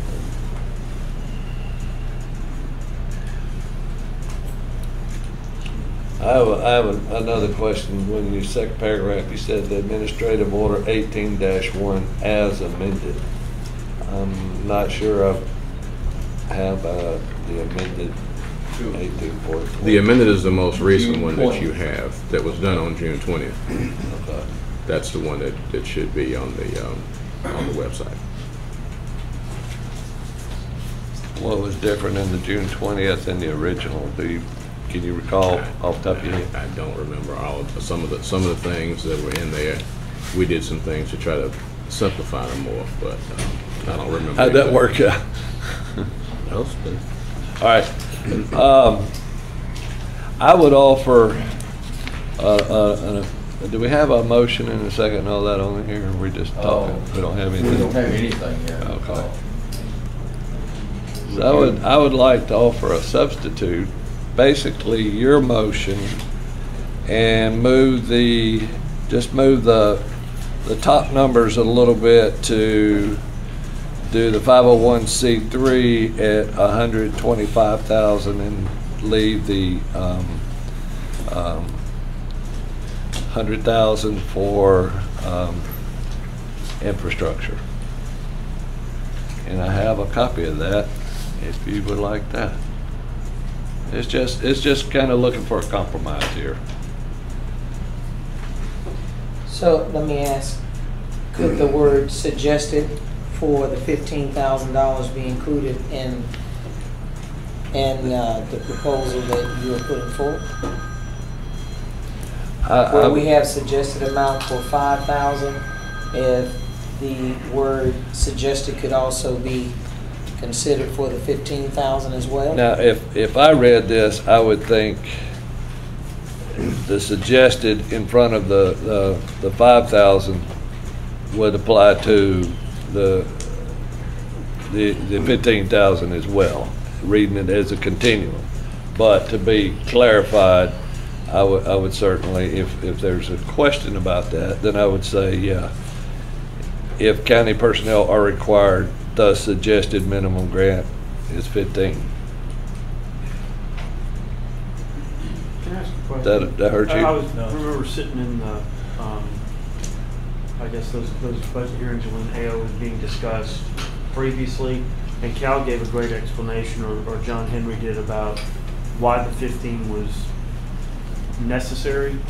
You guys, do you remember the, your, the reasoning? Well, one reason, you know, we got thirty-seven cities, and if thirty-seven cities did a thousand dollar grant each, we gotta mobilize thirty-seven times, so that, that starts making our money a little less efficient. So we were just trying to be efficient and make, make it worth going there and doing it. Um, Sometimes, you know, if we're mowing a county road right by a city, that argument doesn't work well. We could swing by and mow a city street and then this, this kind of hurts us. We're there, we can do it real good. That's why I think it's there. Um, There's so many cities and if we do tiny little grants, it, it'll be tough to process them all in here because they take so long and then mobilization cost.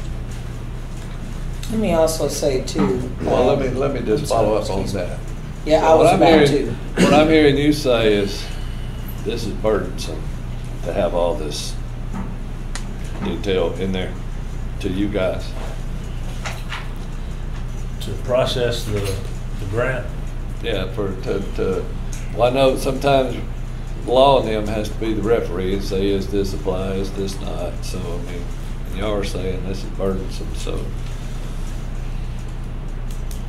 So, Well, you, said it was burdensome when it was, came to like, if, if you were in, like, say you were in Trussville and you were gonna, you know, uh, you know, uh, mow lawn, mow, mow right away or something, and you could move right into Leeds or, or Irondale. Um, that if you're already there and, and uh, active, then it's burdensome. That 15 is burdensome. right. But Take if more it's grass, it's not infrastructure. Right.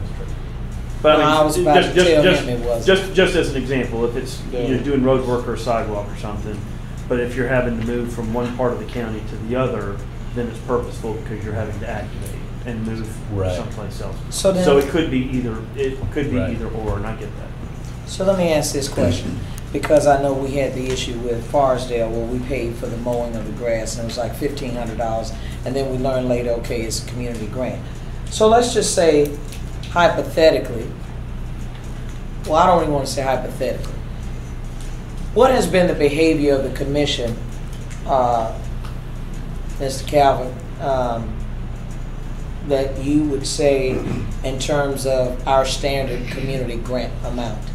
Because I've never known, not community grant, but infrastructure grant, I've never known us to approve, not since I've been here, a grant that was a thousand dollars or five thousand dollars. Anybody knows that typically an infrastructure grant is going to cost a lot of money, but it may not cost fifteen thousand dollars, but it may be ten thousand dollars. or seven. But, but, but it's certainly not one thousand.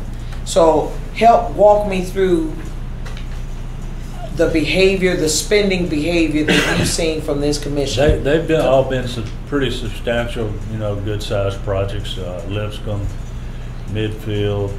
Uh, we did do some striping, or working on some striping in, uh, Bessemer that's lower cost, but, you know, it's, yeah, to me, it's kind of worked out fairly well with good-sized projects. So my point is, that's not even typical of our, or our pattern of behavior for that to even be an issue. And so I'd like to understand too, when I hear the word burdensome, you know, nobody's sitting at this table for free. What is the burden that I'm hearing? What, what is, what is the burden? Walk me through what that looks I thi- like. I think they were saying, I know we had an- a, a time, I can't remember which city, we were mowing the county roads and some mayor called and said, man, I had, my tractors are all broke down, can you mow this street when you come by? Well, you know, having to get the city to do a match and do all this paperwork, we've already mowed, we gone, we're way on down the road. I think that's what we were saying, in those particular little situations, the process uh, slows us down from being able to act quick. So, Are you saying the amount of money causes you to not act quick, quickly? well, just the fact that we gotta do the grant like we do, where the the city's gotta send in them a resolution in the match, after they sign it and send it in, then we have to approve it. You know, that's four weeks almost every time. But if I'm hearing you correctly, what I'm saying, I'm having a hard time with, with gathering. If you are a smaller city and you get that kind of call or we receive that kind of call, then first of all, that's not necessarily something that happens all the time. And if you were, are you saying that we would exclude that city because of the fact we don't want it to be a burdensome for us? So the way we cover that in writing, we said, well, you're gonna have to do it at fifteen thousand dollars. No, I'm I mean, I hope you're hearing how that sounds, at least to me. If it's a smaller city, then we can't help that city because their need has to be fifteen thousand dollars or greater. Why, why couldn't we set it at an amount, if we were to set an amount at all, that any city, large or small, could apply for a grant? Again, it's, it's all about helping the citizenry. When I hear the word burdensome, you know, you have to forgive me because Cal, you know, uh, Mr. Markert, that I, I, I favor you a whole lot. You know that. But I don't understand if I'm a smaller city and I need help, there's a reason why I need help.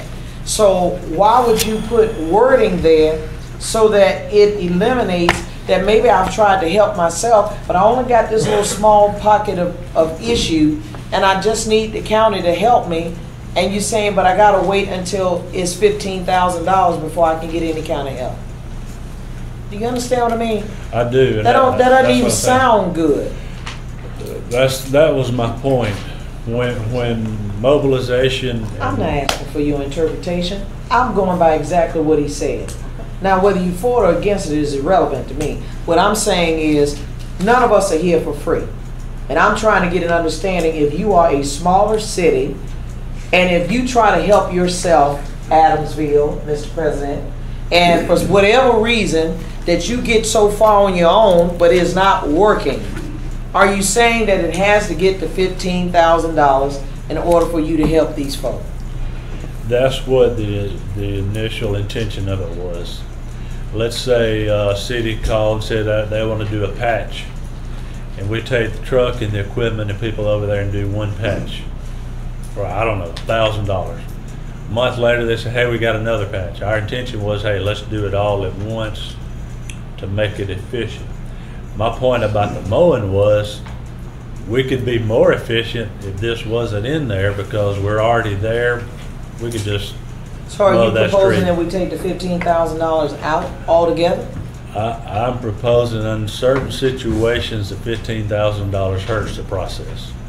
So if we- then do we add the word suggested, or are you saying remove the cap of fifteen I thousand think dollars? suggested would be fine, and that way, if it's something where, where the roads director, you know, recognizes that this is an inefficient process to keep coming back and forth, we would state that to y'all, and you could decide at that time, suggested would kind of be a good. I can live with the way word to- suggested, but to, to, but to create hardship on these smaller cities, I, I, I wouldn't, I wouldn't agree to that, because I know that sometimes they may try to help themselves, and, and we always talk about the fact that they need to help themselves, and if they try and if they fall short, then I would rather for us to pay less than fifteen thousand dollars to help them with their shortfall than to say, or require in writing, that if you don't do, if you don't have a fifteen thousand dollar issue or not, then, you know, we don't have to help you with, with, with your, your issue. I mean, it's, this is supposed to be working for people and to be very people-oriented and efficient at the same time. So I can stomach the word suggested, because you know as well as I do, very few mayors gonna call us and ask us for little small things anyway. That's rare. It's like we're taking an extreme to deal with a potential rare problem. Wouldn't you agree? Yeah. It's yeah. not common, it's not commonplace for these mayors to call us for something really small, so if they do call us, it has to be something that, that's really urgent, when you think? That is accurate. Okay. All right, so if we Can I add change, one thing? I just want to qualify, when we were talking burdensome, so I didn't have a opportunity to finish. I think when he was giving his example, it was burdensome for them to have to go through the process. I also get that for the smaller cities, fifteen thousand may be burdensome. That was just my point. I just wanted to clarify. okay. I believe the motion we have on the table is the one before us. The community So I'm- grant I'm- I'm gonna- I'm authorizing gonna a withdraw it. resolution. Mr. Let me Let's- finish, finish it, so, then you can talk. But I'm the Community- one representing it, and community then you're grant. taking over. I'm the one Authorize- representing it, Mr. President. We have two. No, listen. I put it under my report. I'm the, I'm the presenter of the All right. resolution. That's why I say if you want me to, I mean, you can take over. But, but, but I'm saying, but you out of order. Yeah, You go ahead. Uh, Okay, I just said, so that I can be at least user-friendly, I'm just more interested in the money getting to the people. Okay, so I said I will withdraw my resolution. It's my presentation, I'm withdrawing my resolution. And then we can consider the other two that are on the floor. There we go. Thank you. And then I think, Jim, didn't you put yours in? I, I did, I put mine in and you made some changes to it and, uh, let me see if I can go into the changes that you made, Joe. Right. Uh, you changed the Here they infrastructure. Uh, you reversed the infrastructure and five oh one C three money, am I correct? Um, Yeah. yes. Yes. You, yeah, you yeah, re- yeah, reversed that, I caught basically, that, and then you just Right. added a suggested minimum grant, uh, to the back. That, that'd be my motion. So, Or we my have, amended motion. is a motion before. So, so the difference between that and the motion that, that I presented was that, uh, the commission has the, uh, ability to give one hundred and twenty-five thousand dollars to five oh one C threes Right. and a hundred thousand for infrastructure, instead of vice versa. And with a suggested minimum grant of fifteen thousand dollars. That is the motion. Mr. President, I have a question regarding the motion, to the motion. Wait a minute, you have what? I had a question to the motion. Uh, Which motion? I'm talking, right, I'm talking about to Right. this one. Okay. The only ask that I, I will, well, I don't even want to say, I just, I have something I'd like to say to the motion, not a question. Okay. The only ask is that I would like to have the definition of this capital equipment to be included within the passage of either or item, but, but that we would have that capital equipment, uh, defined in, in, in either of these resolutions. And I, and my understanding is, Mr. Henry, can, are you able, or the law department able to give us a definition that can be included within this item so that we know what all that capital equipment covers? And I that's think what Mr. it's- Henry has the finance on it, but I would also like to ask if, if these two are going to be considered the same as I suggested that the AO be amended to include the definition of the uh, 501 uh, infrastructure projects, that that, that that definition, once it's voted on, also be included in the AO to be amended to include that definition as well. If, if we move this to the agenda, you make the proper changes and give it to us prior to the meeting. Sure. And so we can consider those. Now. I didn't hear Henry, John Henry though. Yes, sir. That, that's good, thinking just alike. Okay. Uh, Great minds John think. Henry, would you, uh, give us a definition of, uh, of capital? You know, Yes, sir. and I- And I know what it's, it's, it's something you either expense it or you capitalize. it. Correct. If it's something that's gonna require capitalization, I think that's the proper definition to use. Yes, sir. Um, Do you want me to send it? Or- Just, no, just get with Theo and. Okay. and- And make sure. So based on what we, well then let me ask this then, Mr. President, could we not resolve this issue today so that Millie doesn't become burdened by too much of our changes? Is it, is it possible that we can say capital and non-capital equipment? Would that not suffice, Mr. County Attorney and CFO? So that it does include some of the items that I spoke of at the fire station as relates to whether it be mattresses, lockers, or whatever that is. Uh, this lawn equipment, if you had capital and non-capital equipment, is still, equipment is still the base word. Does that not get it, or you all are going to just give us a definition? Yeah, just define non-capital equipment. Did you want the definition of capital? Or Yeah, not Capital, and that's, you know, that's things that have Right. a useful life over a year, you, you expense things. If you have a copper pocket break, uh, you You'll usually expense that. expense that. But if you, but if you're buying mattresses or you're buying an air conditioner or things like that, that has a useful life of more than a year and you, and you capitalize it. So. But that could be a non-capital Item too. I think, I think the, the definitions of between a thousand and five thousand, just. Yeah, we, I think for the, uh, for the grant purposes, what we've, um, or what the commission will, will have to decide is we had capital assets are tangible assets with a useful life longer than a year that are not intended for sale in the regular course of the entity's operations. These assets are tangible property that cannot easily convert to cash and will remain in the possession of the entity for a long time. The purchase of capital assets should be set at an amount of greater than one thousand. I would, I would think that's a good definition. Okay, all right. And that would, include that would, you know, cover I'm good lawn with that. equipment, things like that. It would cover the uh, washer, the dryer, the industrial equipment that the uh, fire station was, was looking for and things like that. And, uh, and on on the case of the mattresses, we want to make sure if, if they're buying several mattresses to, to replace something, that would fall under that also because it would exceed a thousand dollars. Correct, if they buy a good number of them. All right, uh, to, Joe, will you amend your motion to include that definition? Yeah, yeah. Okay, so, uh, we have a, uh, an amended motion, do we have a second? Second. Have a second, all in favor say aye. Aye. Thank you very much. See how when we come together, Mr. President, It- it just we all, works. all great minds, just, we work together very good. Smooth as silk. Smooth as silk. All right, roads and transportation, we're gonna go back up. That came off of, uh, the District Three other business, so we, we were, we got out of line because we wanted to combine the two. Uh, Birmingham Jefferson Civic Center Authority sanit- sanitary sewer quitclaim deed. Cal, you wanna do that, you want me to do it? Uh, you can do it, there's, there's no sewer there or anything, it's just a quitclaim and getting rid of that old Just right get rid way. of that easement. Move the item. Second. Item been moved, second, all in favor say aye. Aye. We have five items from county attorney's office, plus the minutes. Uh, do we have any questions concerning those first five? I hadn't seen the, uh, tell me a little bit about the resolution to ratify the annual profile report for work comp.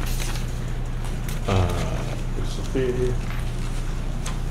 Just, just, I mean, just basically what it, It's a report that, that uh, is done on behalf of uh, our uh, TPA provider that talks about what we generally spend on work comp and those kinds of things. I'll get you more information on it.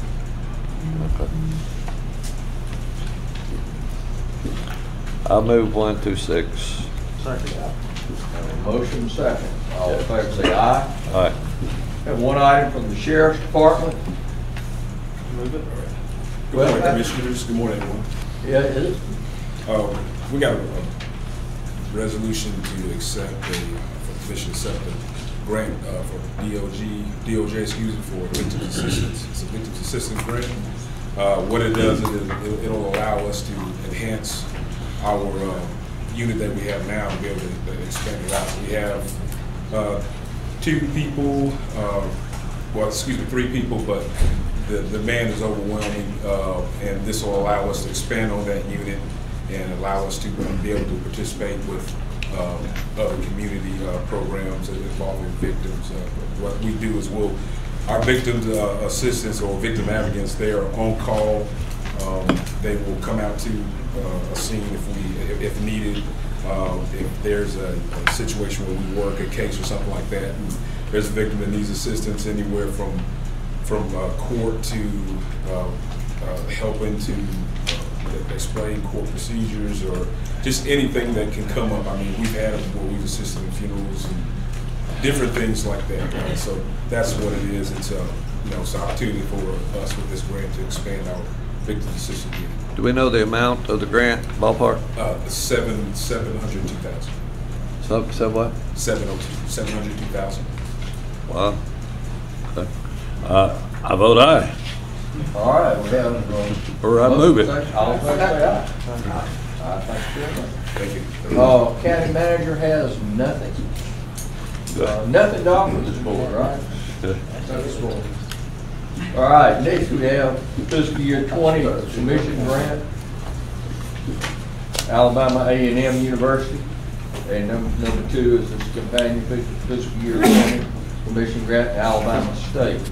These are funds to assist the promotion of the continuation of the Magic, Magic City Classic football game. Uh, I have a question.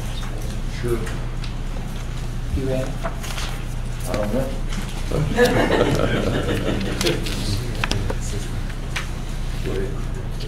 So, let me also, uh, uh, Mr. President, are all items, budgeted items that we voted on as a commission, are they, um,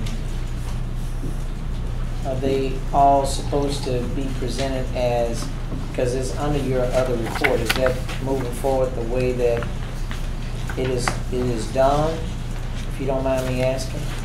It, it would be, it has in the past pattern and practice that anything that's not included as a district fund is, is handled that administrative committee. Now, I, I would be happy to have that changed if indeed, uh, Do you mind Well, changing? well, what, what, I hadn't, where's that, where does that authority come from other than the past pattern and practice? I mean, I'm just, I I'm just. don't know.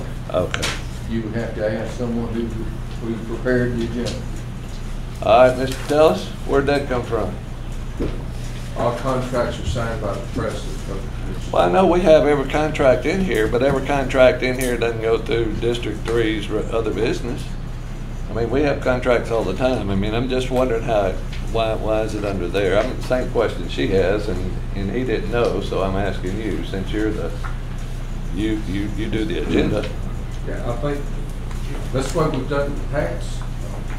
You want to change it. Well, I mean, I mean, just, uh, it was just a curiosity question mostly, but, you know, I, I don't see any authority doing it. I was told it was in some kind of AO or something, but I don't, I don't, I don't know, or organization, or not, organization resolution, but What that does. I just thought Jimmy had come around and supported Classic now. Yeah.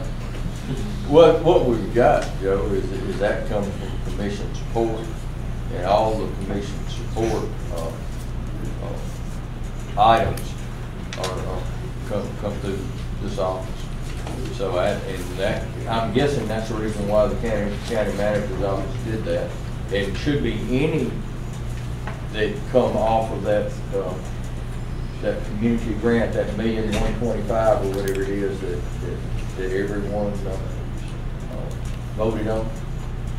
That, that, anything that comes from that will come through the same, but hey, I, I, ain't- I ain't happy So I don't- put it on any committee, I'm good. I'm, I, so if can I we- have a then Can we community, vote for that then, now, Mr. President? so if I have a community grant stuff, I just, I don't even have to come, it just comes to you and I, Well, if you've Go to already, rehab.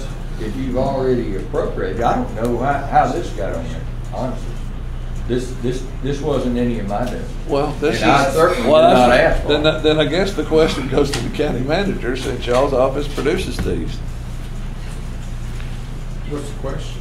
How, yeah, never mind. I- I'll be happy to Ask speak it on this, again. Commissioners, but when I get an item to put in for placement on the agenda, if there is not an otherwise appropriate place to put it, if it's something that the commission is doing as a whole, uh, for the last however many years I've been putting it together, I've always put those when they come to me on the commission president's agenda, when it's an item from the commission as a whole, instead of a, a district fund or, or something that a particular commissioner is responsible. Well, then I, then, same question then, uh, I'm gonna put it to you, Tony, and, and you could designate who you want to speak to me. Then that would be no different than economic development.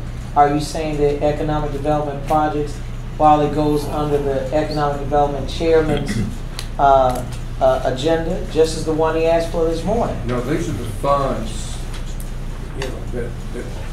It came out of the budget committee. You're under commission support. I understand, but they came out of the budget committee, is what I'm saying. So, Mr. President, all Well, that's things, okay. but all, thi- no, all things being equal, Mr. President, you say you don't mind it being changed so that if it's an item that, that needs to go to you or Commissioner Tyson or Ammons with economic development, then it can just be under the appropriate committee. think- I mean, did you think just the- say that I you think- agreed to it? I think that the appropriate committee, of course, I think that the appropriate committee, if, if, if it's not done this way, should be finance. Uh, Okay, so Yeah. can we, can we make a motion then that it goes on to finance? Second. We have a motion and a second. All in favor say aye. Aye. I'm not exactly sure what just happened. No. um, Commissioner Knight. I thought we had something else on here to. Commissioner No, Knight. no, but we wait a can- minute. What we did, we just moved these two items from my agenda to finance. No, that, no, I Mr. guess- No, no, no, President, no, that, that's we not, just- no. we did that for That's the not what, future. that's I not, think that's not what I what it was was. saying, Mr. President. All right. What I was saying, what I, the, the motion that was on the floor, that I was saying clearly says, all budgeted items, as I understood it, would then be presented by the finance committee chairman. Is that not what we just voted on? We, no, we talked about each, each item in that particular list of items that, that the committee would be, instead of coming from the commit, from the commission presidents, there, it would come through finance. That's what clearly everyone was voting on. Except for Steve, he didn't know. I didn't know. So, No, so I'm just- anything that would be on that list that, that was part of that budget would now not come through the president's office. It would come through the finance chair. Is that what we just voted That's what on? we just voted on. Okay, and, Yeah. and then, so what was the vote count? It's all good. Mr. President? Yes, aye. Steve has voted aye. Commissioners, did the, may I make, your motion and resolution was to direct the county manager to place those items on finance, is that correct? That's correct. Right. Okay. I think that's what it was. Yeah. Wasn't it, Steve? Yeah, that's good. Yeah, see, there you go. All right. All right, so, And, and it was, un- it- With- that was with- with- unanimous? With the exception of one and two before us, or? But I'm saying, uh, there wa- was, was the count merely unanimous? It was. I'm, no, I'm asking, I'm not taking I think it, it I'm was. talking to her, so you keep, I'm I not- my- don't know why you like, you like my conversations, don't you? He was That's of agreeing love. with. He was on our I side. know, I got it, I just wanted to ask her, was it unanimous, Mr. think Chair? it was. all right, I, I I'm took it going as to, I'm Commissioner going Evans just to had uh, a question. defer these two items to the finance, and I have one item left. Resolution to adopt the 2019-2020 county commissioner meeting. Hold on. Move, second, all in favor, say aye. Uh, Commissioner I Knight, hadn't seen him. you're the man. All right. All right, purchasing reports. Do I have any questions on one, two, three, four, or five? Hold items? Have a motion? Do I have a second? Yeah. Have a motion and a second. All in favor, please say aye. Aye. Budget Management Office, I've got multiple staff development items, several items. I have a motion. Hold item? Have a motion and a second. All in favor, please say aye. Aye. Board of Registrars, Barry, you still with us? Barry is moving a polling um, place precinct. um, It's the Hillview Fire Station is moving to the Forest Hill Fire Station. Move the item. Second? Have a motion and a second. All in favor, please say aye. Aye. Developmental Services, Z, 2019-027, Bagley Church of God. This first case is a request to go from A1 agriculture to institutional one zoning for compliance for a church. They want to locate a mobile home for a parsonage and uh, they just need to come into compliance. Recommended for approval by the planning commission. Have a motion? I'll second. All in favor, please say aye. Aye. All right. Z 2019-028, Brookwood Baptist Church. This is a property in Secret Hollow Road, south of uh, Liberty Park. Uh, The property is currently zoned institutional because it did belong to a church. They're selling the property and uh, they want to rezone to A1 agriculture to have four lots. The plan, there was no opposition to this. The planning commission was concerned about its proximity to uh, Liberty Parkville and are limiting the number of animals by covenant, or asking to limit the number of animals by covenant. Even though these are very large lots, they're two acre plus lots. They just want to make sure there's no conflict with the residences nearby. 2019-028. Do I have a motion? I Have a motion? I'll second. Second. All in favor, please say aye. Aye. 2019-030. This is a property at the entrance to the Jeff Met Industrial Park in McCalla. It's currently a church property, it's zoned institutional one. The uh, owner of the gas station across the street from this has purchased the property and wants to uh, rezone it for commercial purposes. He doesn't have a specific use at this time, he would like to just use the existing church building to rent out for a commercial purpose. Uh, The planning commission was concerned about the quality of the, the property, being as it is the entrance to the industrial park, and they have asked for a covenant that would allow them approval of any additional uh, improvements in the future whenever this is converted to something else. Have a motion and a second. All in favor, please say aye. Aye. 2019-003. That is a resolution of acknowledgement for a uh, case that has already changed zoning. Do I have a motion? So moved. Second? Hey, Lashunda, say second. Second. All in favor, please say aye. Aye. Okay. All right, General Services, Alabama Power LED Lighting Project.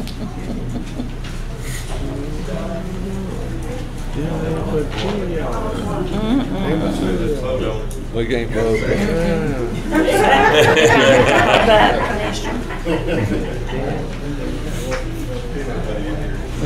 Jeff Smith? Yes. You got a, you got a project? Alabama Power LED? Upgrade project for family court. Okay. I'm moving. I'll second it. All in favor? Uh-huh. Tell Sean to stick me in back here. Lashunda, say aye. Aye. Long as Joe said aye. All right. Now, I have a couple of items. Number one, the Alabama Agriculture and Mechanical University. I know, I got- I'll come back to the, do that. You, you wanna wait until Jimmy is here so we can do the honors?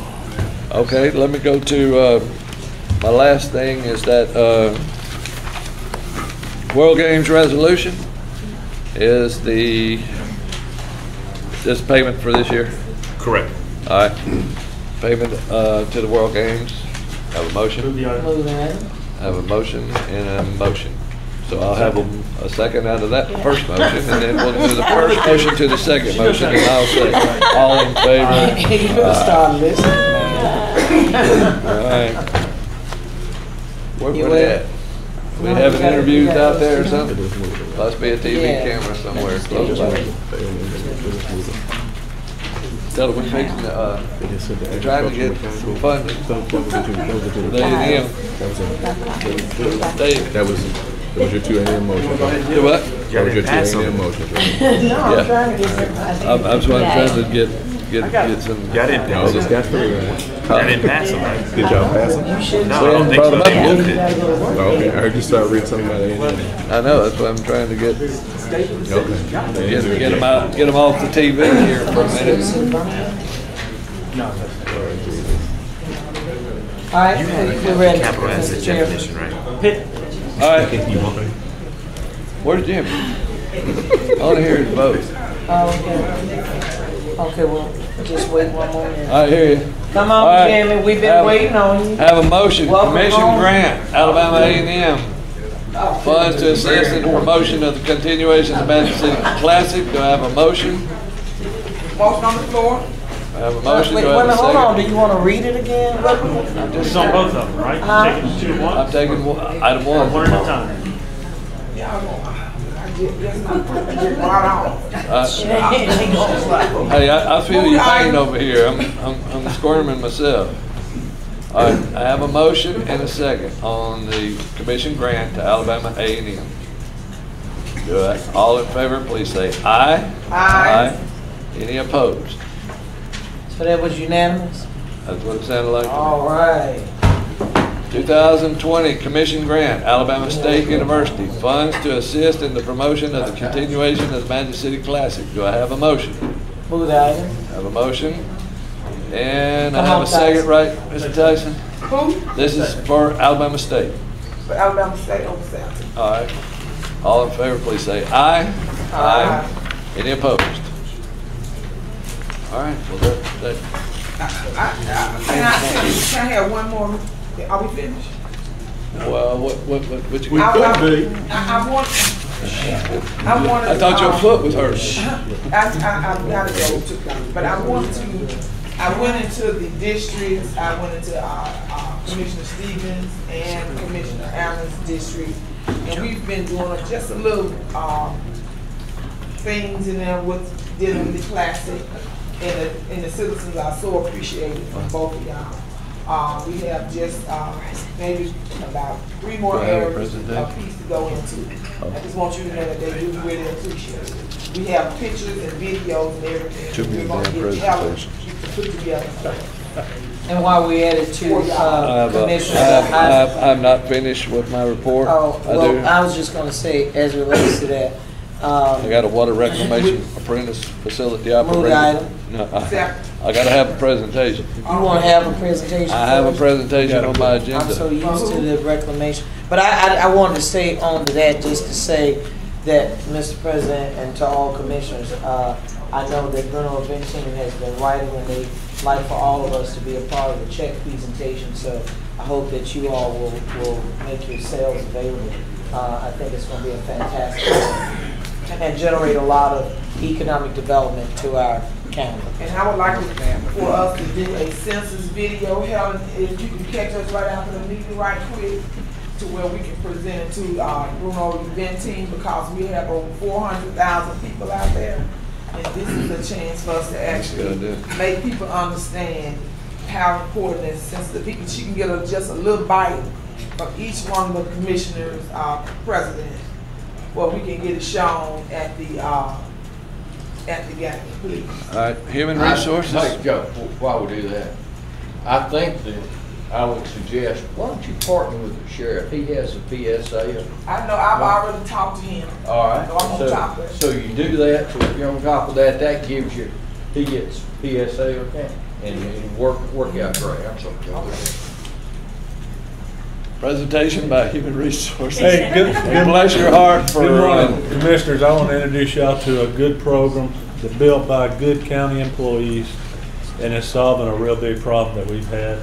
And we'll start out with Margaret with Environmental Services. And- and- Then we have Lo and Mark in the HR department who work together. And I, and I blame him for not moving y'all up to the agenda, making You you know, wait I till just last. texted him next time. Anybody need a cookie, cracker? No, we just need an intermission of some sort here for long. I think I need pain pills. A little sugar. All right, here we go. I'll give him cream, I will. All right, so just to introduce myself, I'm Margaret Tanner, I'm Deputy Director with Environmental Services. I'm over our Water Reclamation Division, which includes our nine treatment plants. Um.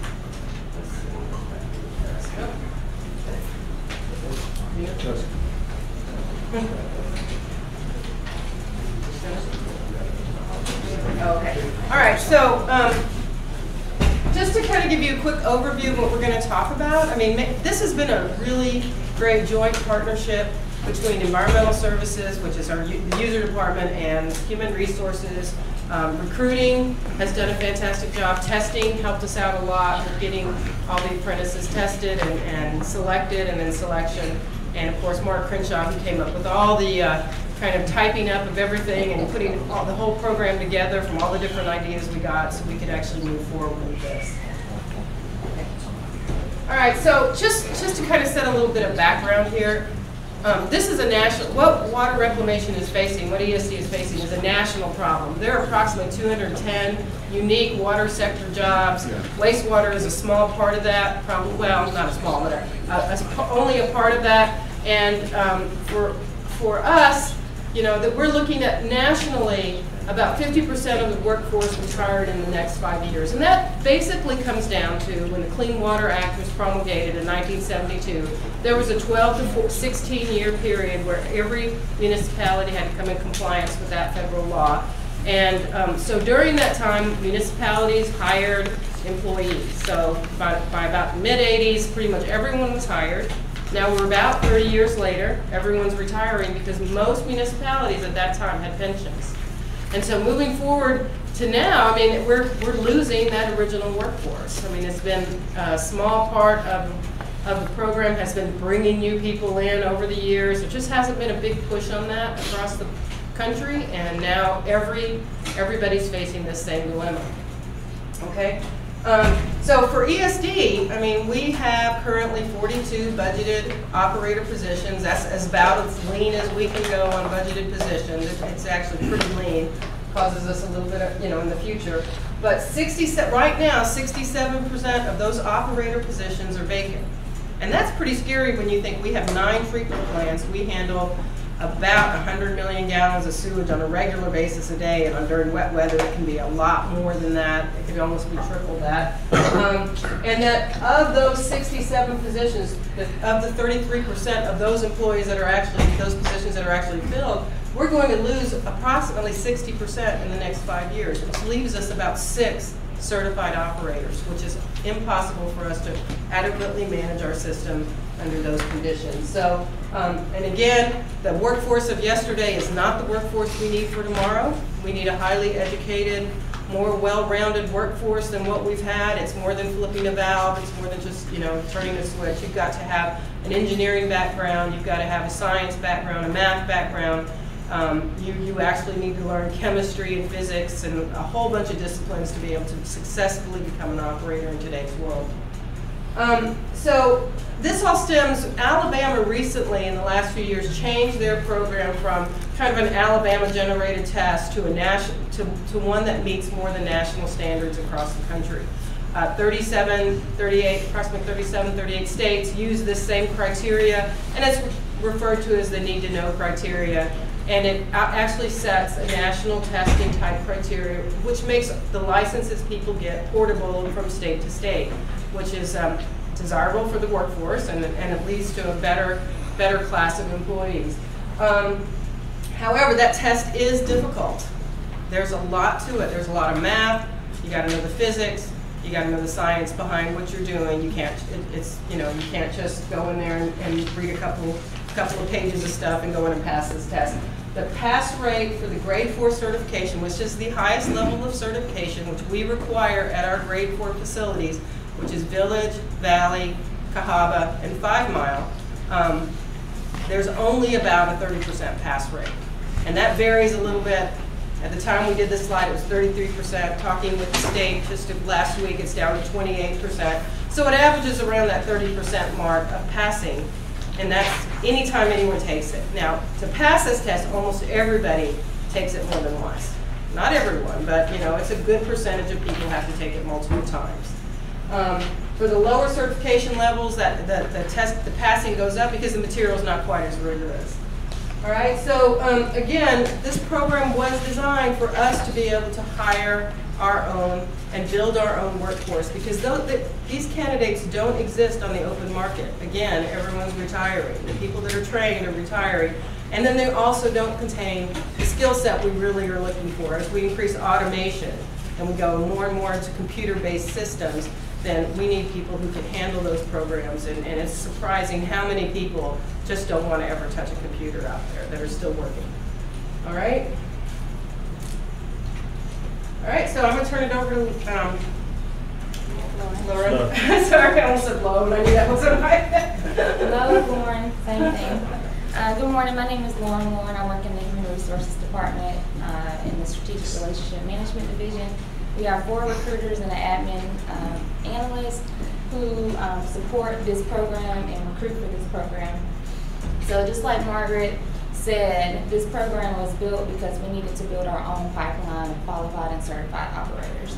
Um, it was hard to go out and find the talent of individuals who are already certified because they're already working or they're they're set in their um, in their current roles or they're getting ready to retire. So we had to build this program in order to fulfill the future needs of our um, environmental services operator positions. So we've done various recruitment outreach and recruitment methods to um, ensure that we have the quality of candidates that we have and to just bring awareness to the program. So some of these things that we've done, we've built relationships with different community organizations in the area. We um, promoted and branded in various ways in social media accounts and social media outlets. Um, we've targeted certain veterans coming out of um, or transitioning into the, the, the um, military or the civilian workforce. Um, we've also, you know, outreach to various um, employment agencies for those individuals who may be unemployed and they're looking for a career change or something different.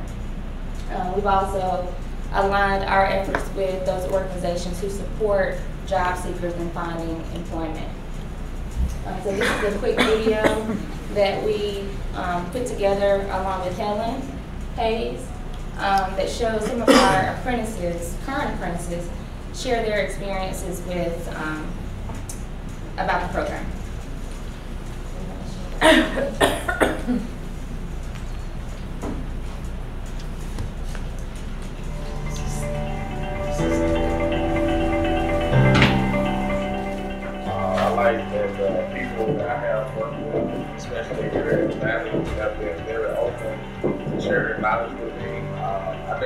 quite understand the impact of wastewater on the environment until I joined this program. Um, we learned about the whole entire process, how each step, how water goes through each step to make it cleaner and good enough to go back into the creek. So the program, we have been going to class on Mondays, uh, studying with Glenn every two weeks, every other week we've been going with Jeremy, going over everything that we've been doing uh, after a few sessions, uh, taking our taking the test, stuff like that. Uh, every other day of the week, we'd be going out to the plant operating, uh, we'd be shadowing operators. Um, I, I really didn't think this much into uh, recycling wastewater or uh, cleaning wastewater. I didn't know like all the different areas of wastewater treatment that, that it is that I, I've learned in these six months. Is a requirement and essential to uh, human life. Uh, we want to protect the environment, we want to protect human life, and this is a great start for me to uh, join Jefferson County. I would say it's a good long-term, long-term job because you got good retirement benefits and uh, it's a great opportunity. Uh, you don't need a college degree. I'm 21 years old, right out of high school. So. There's more to it than what you would think it is. I would tell other people who are interested in wastewater or any type of environmental career, this is right here, this program right here is a very great start.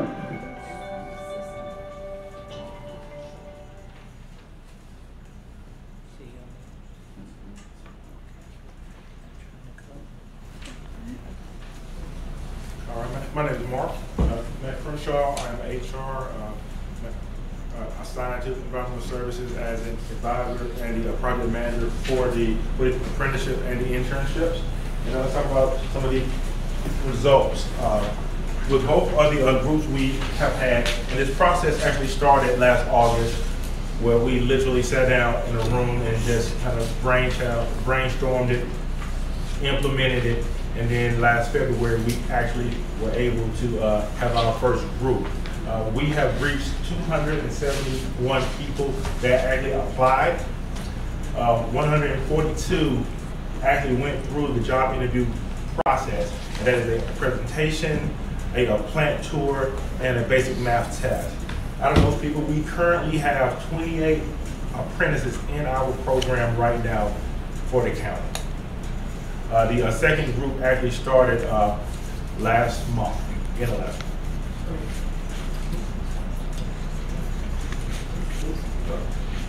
Uh, Not only that, uh, we have been fortunate that our program is now recognized with the state of Alabama. Uh, We partner with uh, Dr. Hamilton's team, and uh, we now have access to some, to, to grant funding for our, for our program. Um, um, so that's a big, big deal. This month and uh, part of last month, our current group has been testing, going through their grade two test. Uh, out of the uh, first group, 10 of them started. Six of them have actually, uh, will be finished testing in uh, November. And one has already passed the grade two exam. We're very, very proud of her. Uh, not only with this program, we are also allowing current ESD employees who are not apprenticed to actually go through the classwork as well. And we have 10 of those individuals who actually went through the classes, and five of those will be testing for their certifications over this next month. what questions do we have? No, but I have a comment. Mr. Petelos, Justin, when we have presentations, this was an excellent presentation, but it got lost in all this stuff we've been through for two and a half hours. These people worked hard on that because you could tell the way it's put together, so I mean, it's a good thing. Well presented.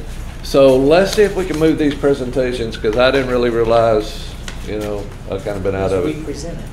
Well, you know, just let's, let's put that up to the front, like we did Dr. Watts and those guys. And let's try to limit the number of presentations. If we get over two, then let, let everybody know. Is that okay with everybody? I mean, that's just, this is, Common courtesy. this was good, but this was lost in the shuffle. So can we show it again? Right now? No, I'm talking about when we'll be we're present. Let me also say this too, uh, uh, to everyone here. We did, um, our office did a presentation as relates to apprenticeship with water reclamation, and we took um, something that people don't want to talk about, stinky water, and, and made it look pretty. There's a marketing word, but you know, it may not be acceptable in this setting, but I will say this, that it, this part of Jefferson County is more vital than I think we know, and we probably have done you all a disservice this morning, uh, and which is the only reason why I was asking, Mr. President, if we could represent it. I know, David, you try to do a great job uh, of making sure that those apprenticeships are known. You helped us to do that video. Uh, But I will tell you, I went out, uh, Jacob and I went out to the water reclamation plant, and I was fascinated with how we make dirty water clean. Yeah. Um, just looking down into it, and I think that uh, since it is, we talk about job creations all the time. Uh, this is something that we can actually uh, not only present but be made available to the public. This is something we have oversight of. And, uh, and Mr. President, if we can, uh, at our next meeting, uh, committee meeting, if we all can commit now to having this presentation brought before us and then uh, at the top of the agenda. Do it. We'll it. Or Thank can you so it. kind. Do. Can I suggest we move it to the- the second one in November, because then we should have test results. That would be great. Yeah, That'd It's a be lot of even pressure. And Yeah, we'll tell them they have to do well. Well, that was- that Well, was- let's just say it, whether it's, is completed or not, at least everyone will know. Uh, and in the month of Thanksgiving, we can show our thankfulness to your department for what you all have done. But, but thank, that was good. I mean, and that was, that's been such a big issue with the federal consent decree we're under was that subject right there and it got lost. So let's redo it. We'll do it, we'll do it in November. That'd be good. And, and we will definitely put the programs in front. And then we're gonna see a big pass rate. I hope so. Thank y'all. Sorry. Thank y'all. Sorry to Thank get you, you. Commissioner. Thank you, Dale. I mean, that's my report. We're gone. If I can get up, walk.